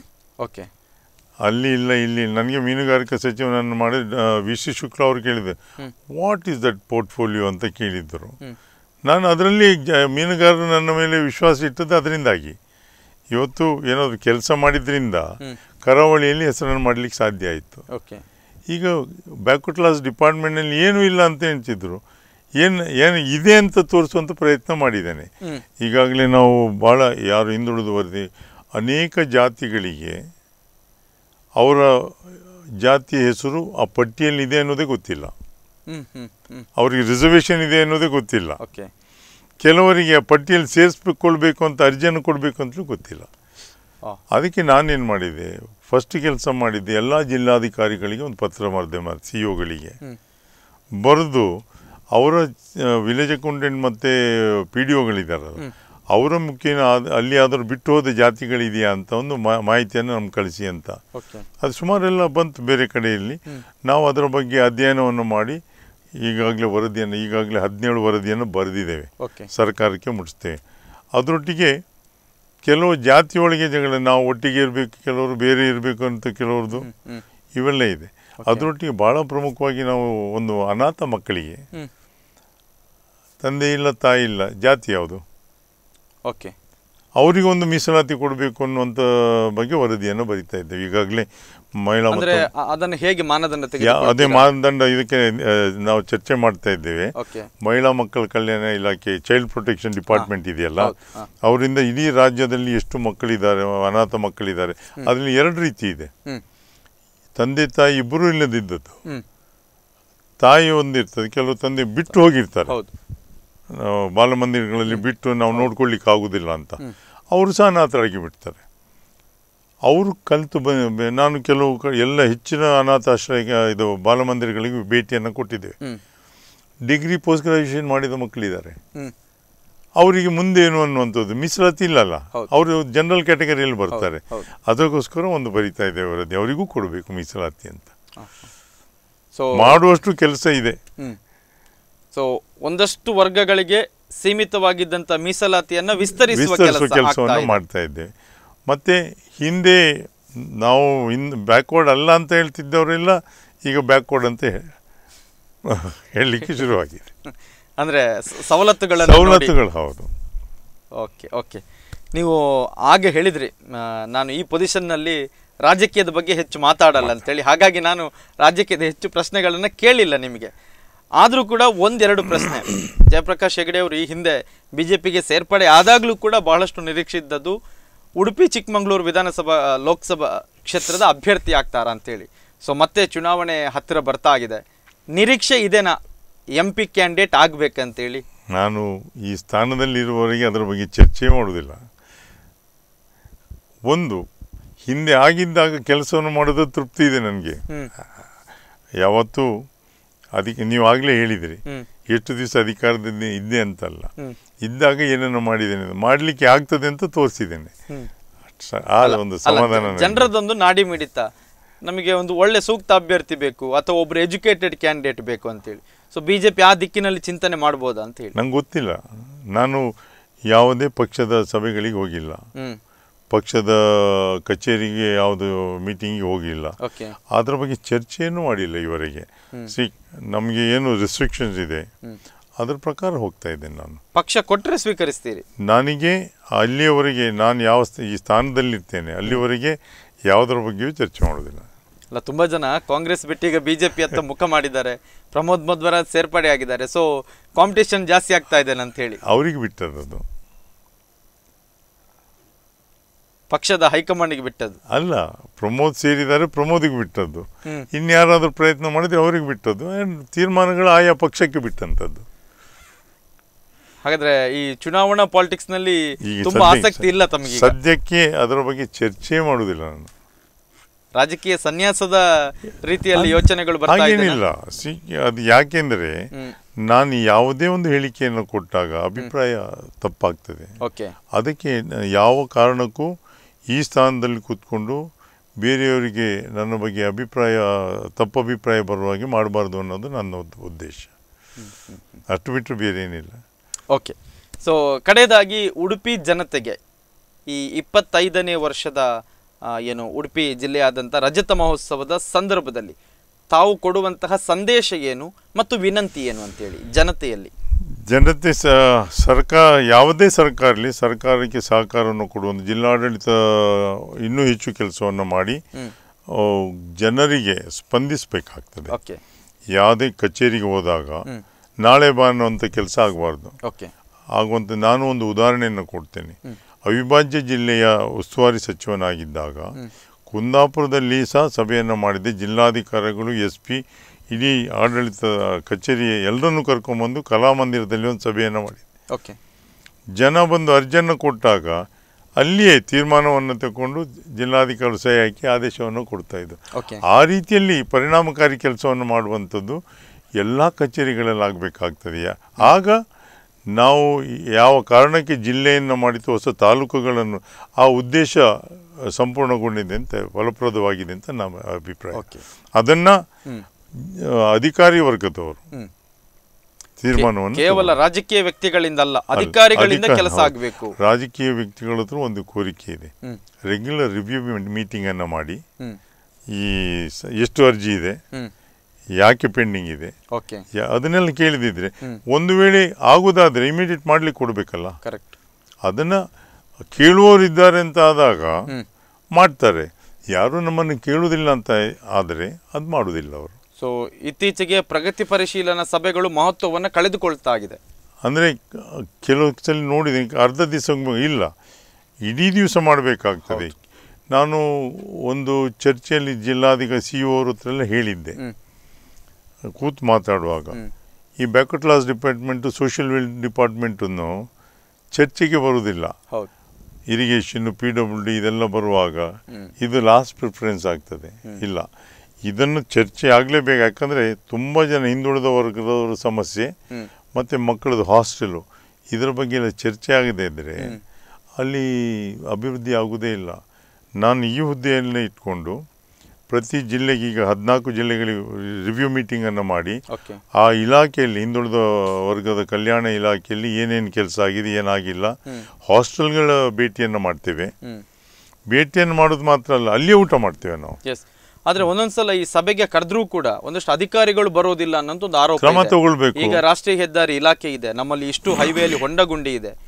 ಆದ್ರೆ ಒಂದಷ್ಟು ಸಭೆಗಳಿಗೆ ರಾಷ್ಟ್ರೀಯ ಹೆದ್ದಾರಿ ಇಲಾಖೆಯ ಅಧಿಕಾರಿಗಳೇ ಬರಲ್ಲ ಅಂತ ಅದು ಜಿಲ್ಲಾಧಿಕಾರಿಗಳ ಕರೆದ್ರು ಬರಬೇಕಾಗ್ತದೆ. ಎಂ ಪಿ ಅವರು ಒಂದು ಸಭೆಯನ್ನು ಮಾಡಿ ಕರೆದ್ರು ಬರಬೇಕಾಗ್ತದೆ.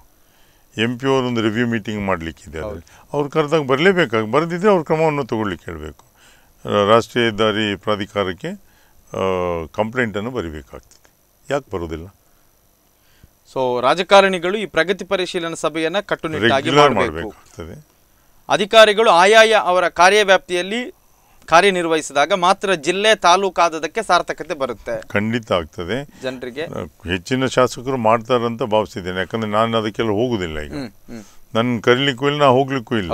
ಅವ್ರು ರೆಗ್ಯುಲರ್ ಮಾಡಿ ಎಷ್ಟು ಅಪ್ಲಿಕೇಶನ್ಸ್ ಬಂದಿದೆ ಪೆಂಡಿಂಗ್ ಹಾಕಿದೆ ಅಂತ ಕೇಳಬೇಕಾಗ್ತದೆ. ಆಗ ಆಡಳಿತ ಯಂತ್ರ ಹತ್ತಿರ ಆದದಕ್ಕೆ ಅರ್ಥ ಬರುತ್ತೆ. ಅರ್ಥ ಬರ್ತದೆ. ಇಲ್ಲಾಂದ್ರೆ ನೀವು ಉಡುಪಿ ಜಿಲ್ಲೆಯನ್ನ ಡಿವೈಡ್ ಮಾಡಿ ಇನ್ನು ಮೂರು ಜಿಲ್ಲೆ ಮಾಡಿದ್ರು ವೇಸ್ಟ್ ಆಗುತ್ತೆ. ಆಗುದಿಲ್ಲ. ಸುಮ್ಮನೆ ಹೆಸರಿಗೆ ಸಂಭ್ರಮಾಚರಣೆ ರಜತ ಮಹೋತ್ಸವ ಸೀಮಿತ ನನಗೆ ಒಬ್ಬರು ಅಧಿಕಾರಿ ಬಂದು. ಕೇಳಿದರು. ಸರ್ ನಂದು ರಿಟೈರ್ಮೆಂಟ್ ಬೆನಿಫಿಟ್ ಇನ್ನೂ ಸೆಟ್ಲ್ ಆಗಿಲ್ಲ ಸರ್ ಒಂದು ವರ್ಷ ಆಯಿತು. ಓಕೆ. ನಾನು ಅವ್ರಿಗೆ ಕೇಳಿದಿಷ್ಟೆ ನೀವು ಆಫ್ ಆಫೀಸ್ನಲ್ಲಿದ್ದಾಗ ಬೇರೆಯವ್ರಿಗೆ ಹೀಗೆ ಮಾಡಿದ್ರಾ? ಅಂತ ಕೇಳಿದೆ. ಸಿ ಯಾವಾಗ ನಾವು ಇದ್ದಾಗ ತ್ವರಿತವಾಗಿ ಇದನ್ನೆಲ್ಲ ಇತ್ಯರ್ಥ ಮಾಡ್ತೇವೆ. ನಮ್ಮದಾದಾಗ ಸಮಸ್ಯೆ ಬಂದಾಗ ಸಹ ಬೇಗ ಆಗ್ತ ಆಗಬೇಕು ಅಂತ ಭಾವನೆ ನಾನು ನಿವೃತ್ತಿ ಆದಮೇಲೆ ಅಲ್ಲ. ಇದ್ದಾಗಲೇ ಆಲೋಚನೆ ಬರಬೇಕಾಗ್ತದೆ. ಆಗ ಬೇರೆಯವ್ರ ಕೆಲಸ ಮಾಡಿಕೊಡ್ತೇವೆ. ಕರ್ಮಣ್ಯವಾದಿಕಾರಸ್ತೆ ಮಾ ಫಲೇಶು ಕದಾಚನ. ಅಷ್ಟೇ. ಎಲ್ರಿಗಿದೆ ಅದು ಈ ಜಗತ್ತಲ್ಲಿ. ನಿಯಮನೇ ಅದು. ಖಂಡಿತ. Yes thank you Jayaprakash. ಕಾರ್ಯಕ್ರಮದಲ್ಲಿ ಭಾಗಿಯಾದ್ದಕ್ಕಾಗಿ ಇದು ಜಯಪ್ರಕಾಶ್ ಹೆಗಡೆ ಅವರ ಮಾತು. ನಿರಂತರ ಸುದ್ದಿ ಮತ್ತು ಮನೋರಂಜನೆಗಾಗಿ ನೋಡ್ತಾ ಇರಿ. Daiji world twenty four seven.